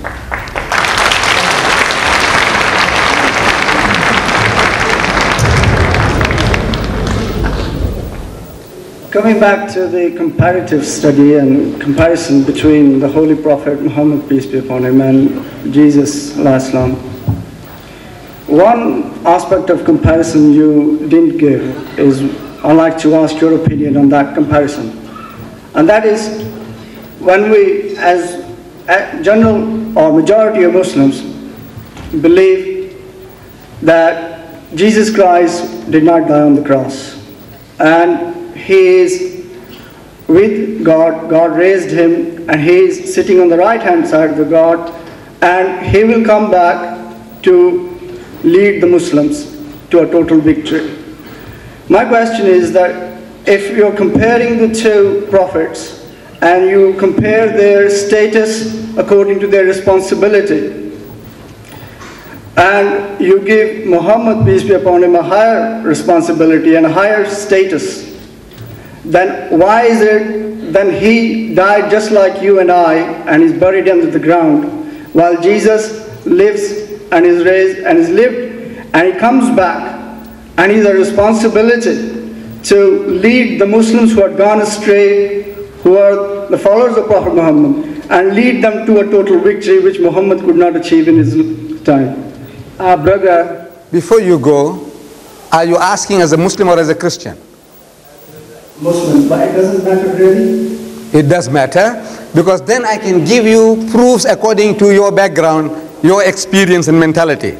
You see, you are confusing, you have confused the Muslim idea with the Christian idea, where you said, and sitting on the right hand of God.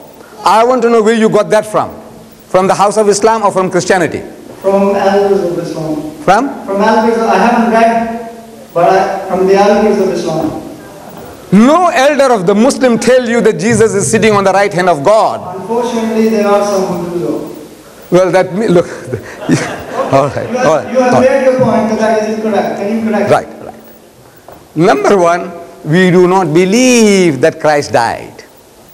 We believe that he was not crucified. Videotapes and books are available on the subject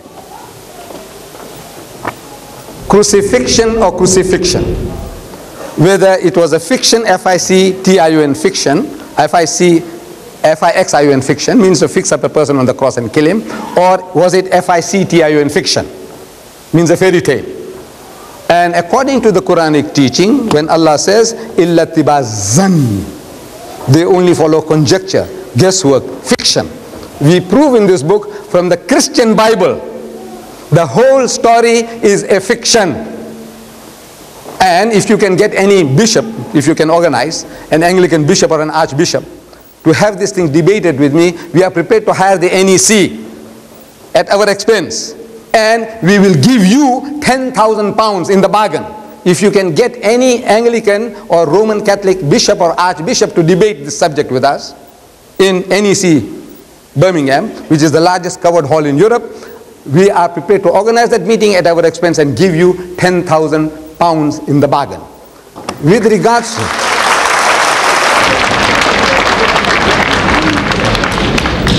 with regards to people waiting for Jesus and make to come and make the masters of the world, you see, the, Christ, the Bible tells us that Jesus is coming for a special purpose.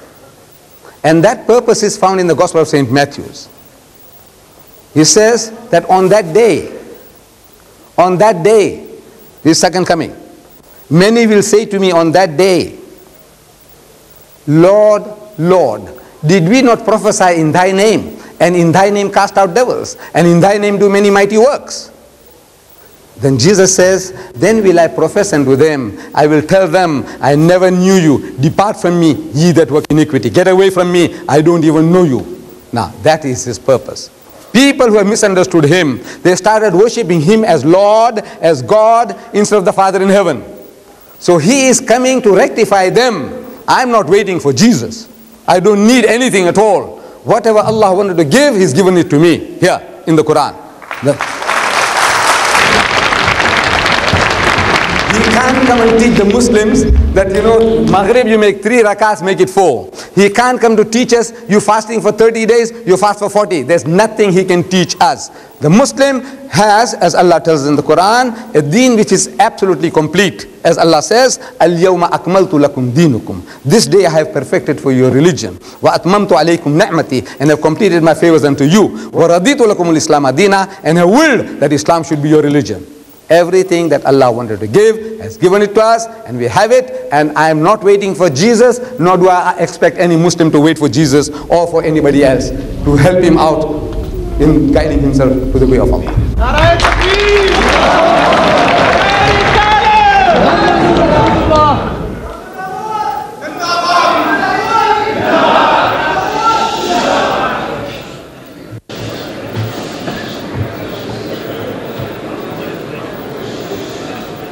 Little extension of the last question, which was a long while ago, but I won't repeat it, um, is that I want you to just give me your response to this. You say that there's nobody who can say that the Holy Spirit has given an answer to the problems in the world, like the problems in Britain. Uh, where's the answer that the Holy Spirit has given? And I'd just like to say, and ask you for your response to this, that um, okay, you can say that I've found my answer in the Bible because it just suited me at the time. It, it was something that I've grasped at the time. Um, but I've found something in the Bible. I've, I've got the Quran as well, and I've read about a quarter of it. I'm reading the Quran in English. Um, but I've found something. I've been to Pakistan as well. I've travelled around a bit and, and talked to a lot of people. Um, but I've not found anything in the Quran or in Islam that could replace what I've found in the Bible, which I believe can only be found if you ask God. Can Arguments. just I there. disturb you? Can you please come to the question, please? Yeah. I'd like to know your response to, um, as, as a Christian, I believe that in the Bible there's a deeper answer than saying to a society like Britain if you all become Muslims and all obey... Sorry, sir, I have to stop you there. Can you please ask a question? Well, my, my question is, We're running out of time, actually. surely there's, question, there's got to be more than something which is imposed on a society from the outside, something that's got to reach into the heart to change us from the inside. And I don't find that in Islam. I find that you can have some good um, moral guidelines in Islam, like in other religions, but I don't find in Islam, I just want you to tell me where it is, um, where I can have what I've got with Christ, what Christ has come in and he's changed my nature. Yeah, what I was before and what I am now. How could I have my Sir, nature changed through Islam? Can I please have the another, can I please have somebody else asking question? Well, I'm how- sorry, how I cannot answer this question. It's just so vague. Okay. Can you come direct to the question? The question is, please ask how the could, um, through um, Muhammad and through the Quran, that you've been talking about the difference between Christ and Muhammad, that's the subject, um, how could Muhammad give me a change in my heart, in my nature, so that I could love people? How could he give me that? Christ has given me it, this is what I claim. How could Muhammad give me that, what Christ has given me? You see, you see the Muslims here, what Islam has done. This community that you see here, they have the lowest alcoholic consumption in the country. This community here. We have our drunkards, and we have our cutthroats and our gamblers and all, like any other community. But on a percentage basis, there's not another nation on earth that can show a candle to us in brotherhood, in piety, in charity, in sobriety. The biggest society of teetotalers in the world are the Muslims. You say you went to Pakistan. I'm sure you must have come across some drunkards. But as a people as a whole, the nation as a whole, Muslims wherever you go, the biggest society of teetotalers in the world are Muslims. The least racist of people are the Muslims. The most racist of people are the Christian whites. I said the Christian whites, I didn't say you. As a people as a whole. So no use beating around the bush, no use, my son. Look, here, Jesus Christ said, by the fruits ye shall know them.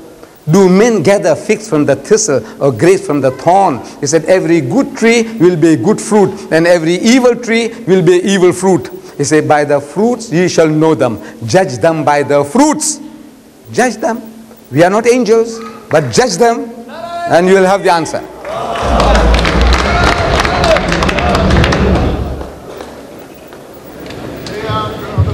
Good evening. Um, I'm a born again Christian, believe in Jesus Christ as the Son of God, who was crucified, dead and buried, arose, and as someone says, at this moment, at the right hand of God the Father, making intercession for one and for all.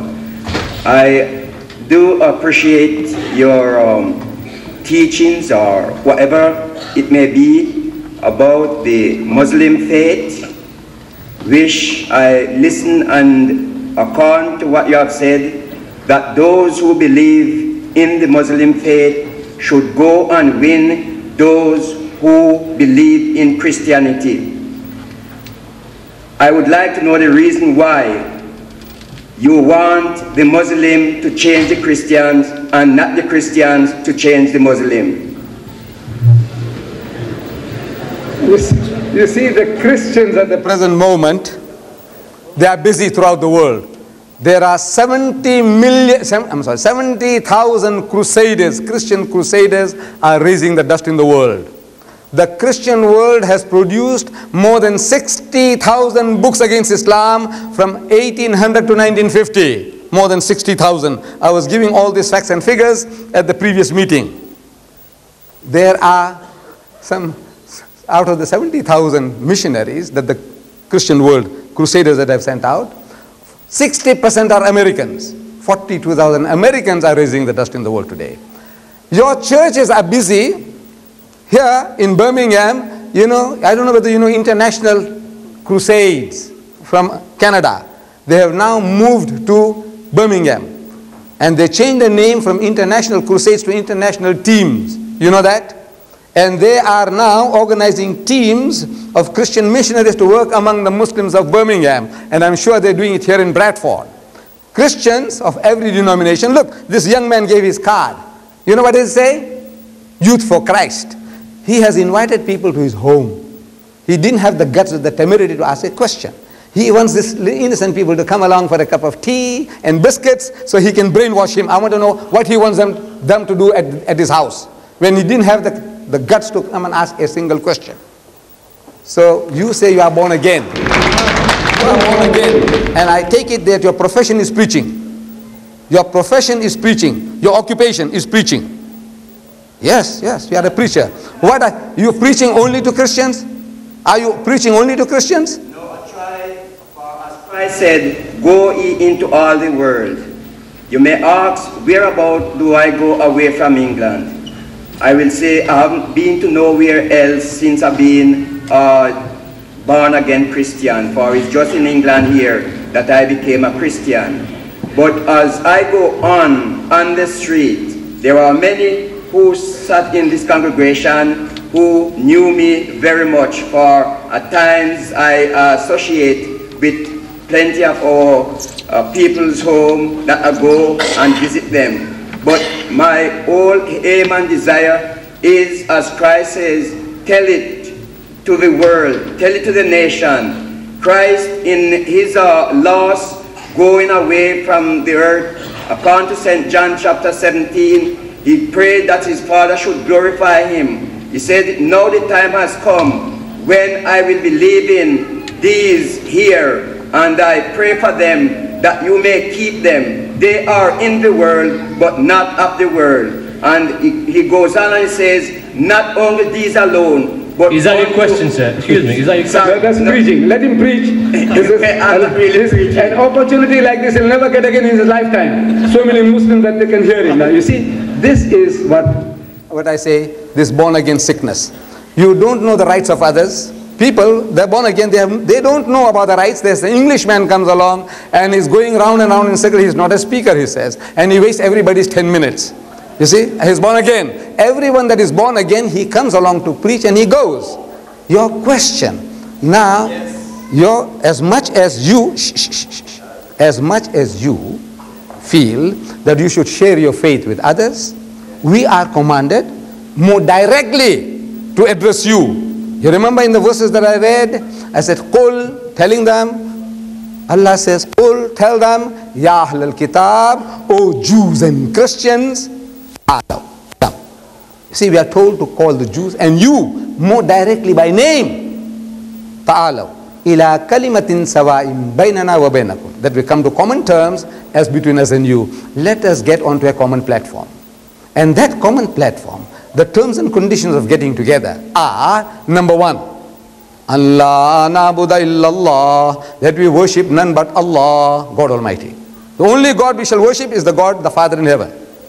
Not Moses, not David, Solomon, Jesus or Muhammad, but the Father in heaven. Let's worship Him. We said, yes, but He's a triune God. He's three in one. So we are told to tell you, wala takulu thalasa. Don't say Trinity.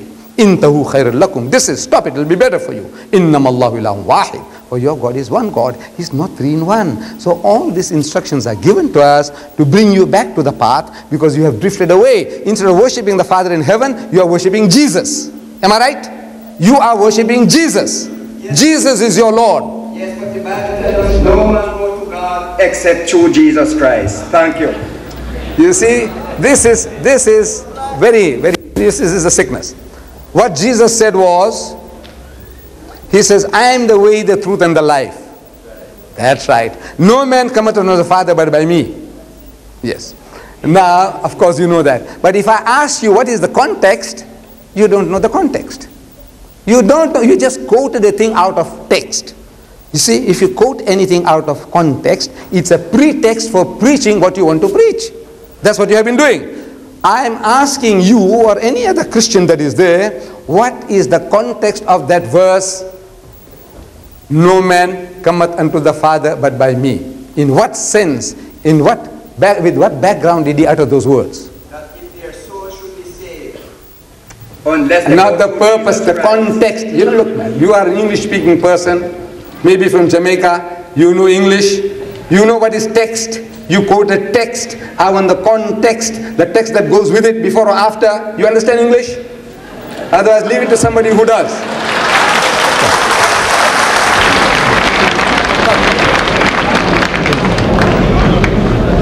Good evening, sir. Uh, I assume that you believe in prophets, prophets of God. I do as well. Uh, you believe specially in your prophet Muhammad, is that correct name? Muhammad? Yes. Right.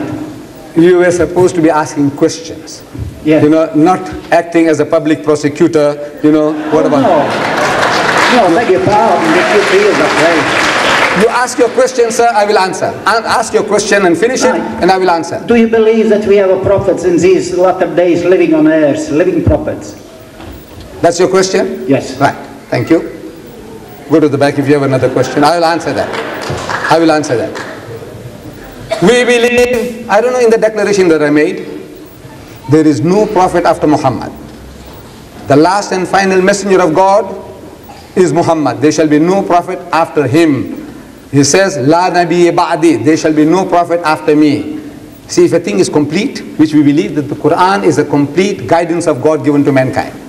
Once a thing is complete, anything you add to it is a monstrosity. This hand, yours and mine, perfect. God made it. Perfect. You can't add another finger, you can't add another thumb. You can't have 10 more fingers to improve your hand. Anything you add to this perfect hand is a monstrosity.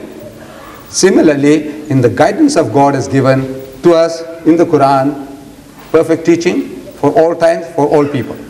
You can't add, a prophet means a person comes along now and he can change the law. If he's God's mouthpiece, now he has a right to tell you that now you can marry your own mother. He can tell you that. If he's a prophet, he can tell you, sir, God tells me you can marry your mother, you can marry your daughter, you can marry your sister. Shh. He says, no, there shall be no prophet after Muhammad. That is what we believe. No prophet after him.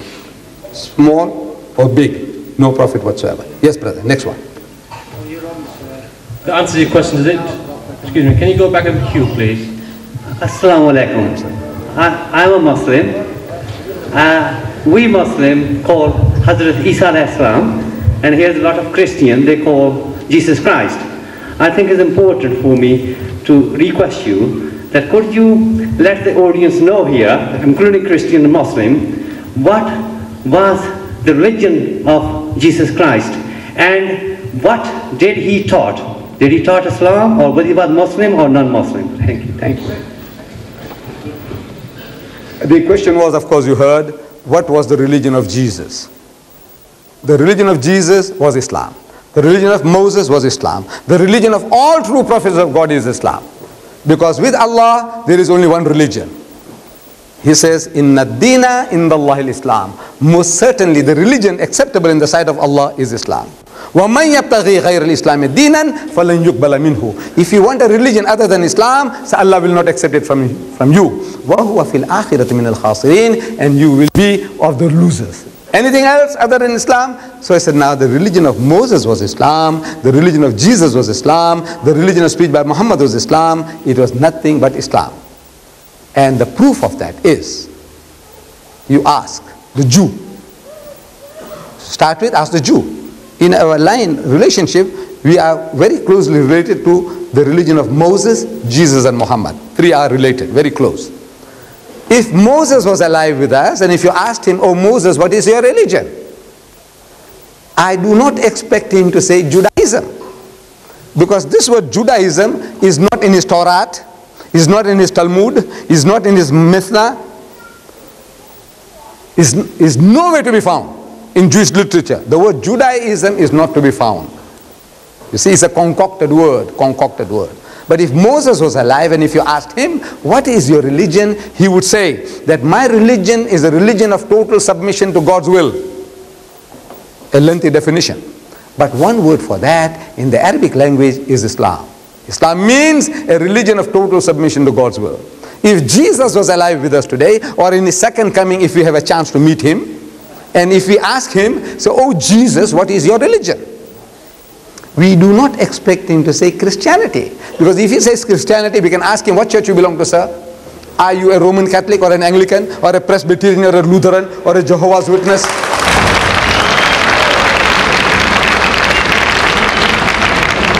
silly, silly you would say. It's a silly thing to ask Jesus.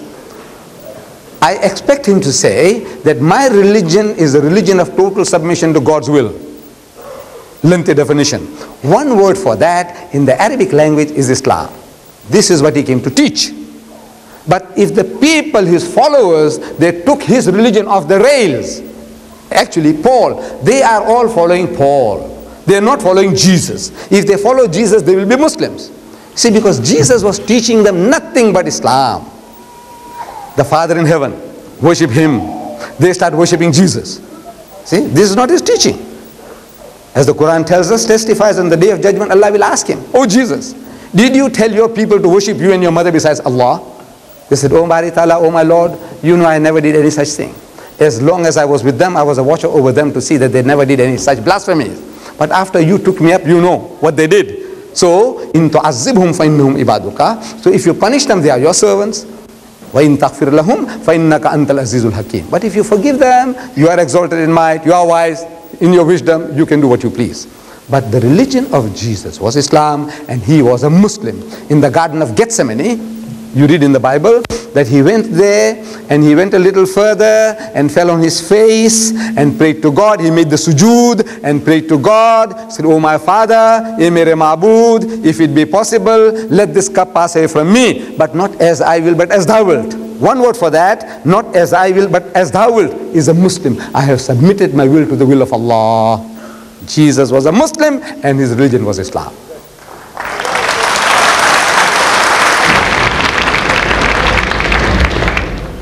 A few minutes ago, somebody stood up and said that he thought, he had got the impression that you had been mocking the Bible. I must say that, I'm sorry to say this, I also got the same impression.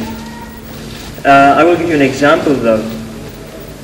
You point to the red letter Bible and show what small quantity of it is highlighted in red. However, there's a large quantity also which is not highlighted in red, which describes the actions of Jesus Christ and not his words. Are these not equally important? You see, he says, I made a mockery of it because I say the red letter Bible. In the red letter Bible, everything that Jesus said is in red and is only 10% of the whole of the New Testament, only 10%. So, what is the mockery? I'm telling you that look, this is not the book of Jesus. We Muslims are made to believe that Jesus Christ was given a revelation, a wahi. God Almighty inspired him. And that inspiration we call the Injil, that inspiration which God gave him, and he preached this Injil Matthew, Mark, Luke, John, they all tell us that Jesus went to Bradford and he preached the gospel. He went to Blackburn and he preached the, for example, Blackburn, he went to Birmingham and he preached the gospel, gospel, gospel, gospel, again and again. Gospel. What was he preaching? Did he have Matthew, Mark, Luke, and John under his arm? Did he have Matthew, Mark, Luke, and John, Acts, Peter, Paul, James, Corinthians, Philippians, Galatians, carrying him under his arm? Is that what he was doing? No. Whatever he was preaching was from God. And that message which he preached, we say the Injil. And that even if we accept every word in red, every word of yours in red, your scholars, they have brought this about. Every word in red, we find is only one tenth of this New Testament. One tenth. 90% is words of other people. They're talking about him not quoting even a single verse. 21 out of 27 books, not one word is even quoted of Jesus. Sorry, can you speak up?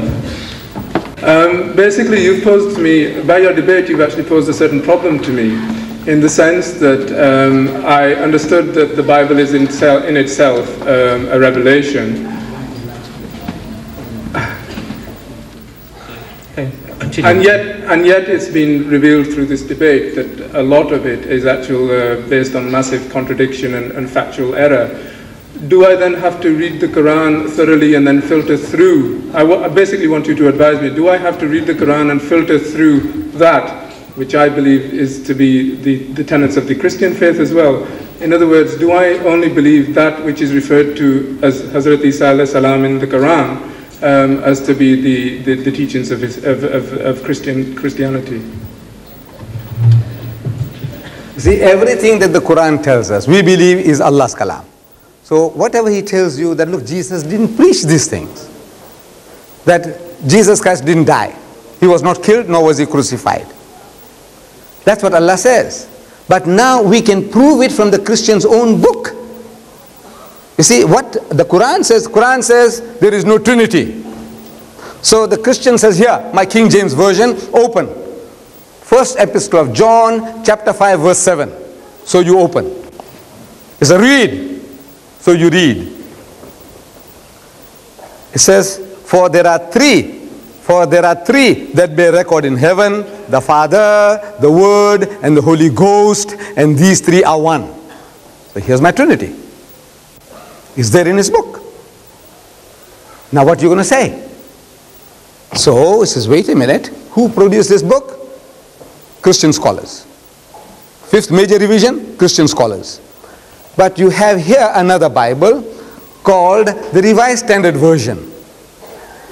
Who produced this? 32 scholars of the highest eminence, backed by 50 cooperating denominations of Christendom, they produced this. What does this book do? It says this one here goes to the most ancient manuscripts. This Roman Catholic version goes to the ancient manuscripts. The King James version goes to the ancient manuscripts. Ancient means four to six hundred years after Jesus. Most ancient means 300 years after Jesus. So the most ancient will be most authentic.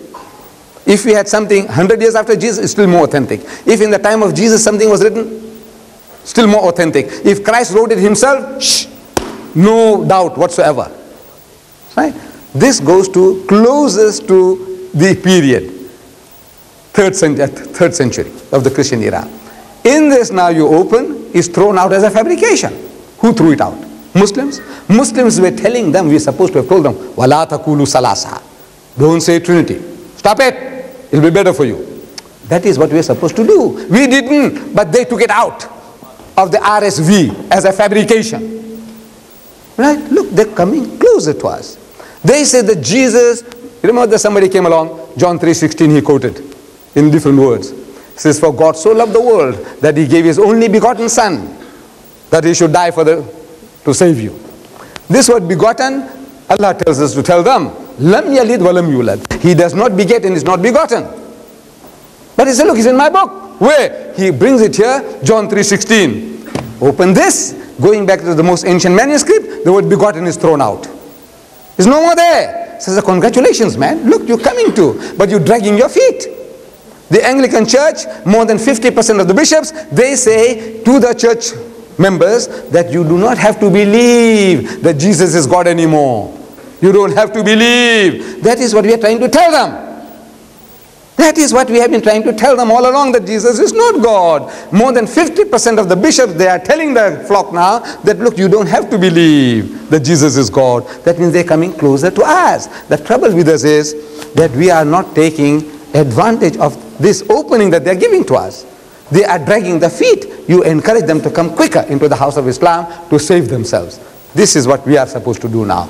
Look, the thing is there, the, the, the, Bible, they are changing, changing, but they're coming closer to us. They're taking out the fabrications, their adulterations, the interpolation, they're taking it out, and as such, they're coming closer, but they're dragging their feet. We have to encourage them to walk a little faster because time is running out too fast.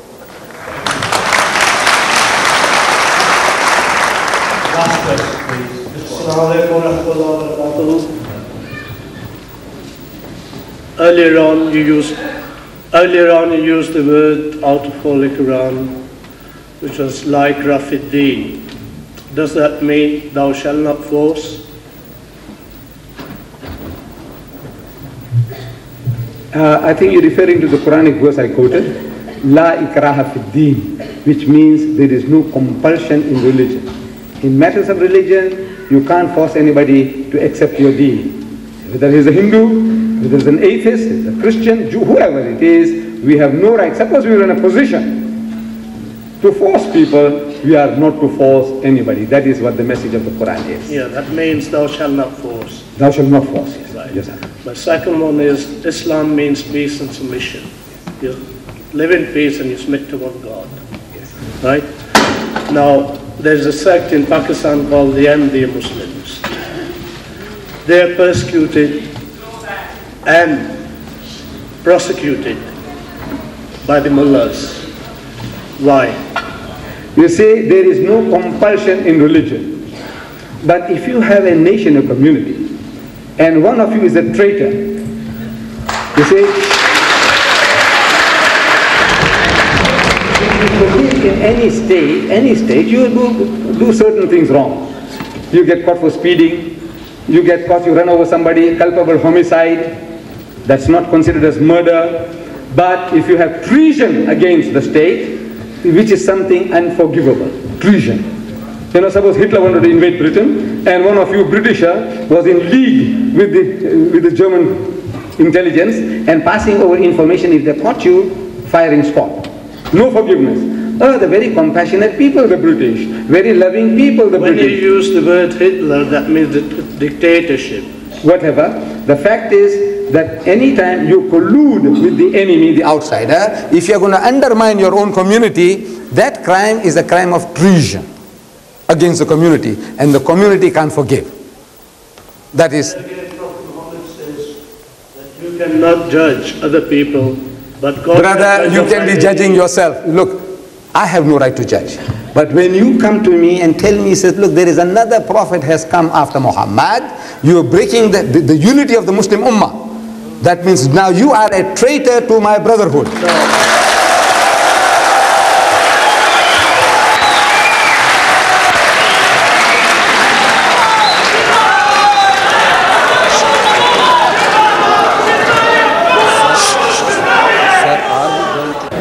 I most sincerely and from the core of my heart thank you all for your contribution.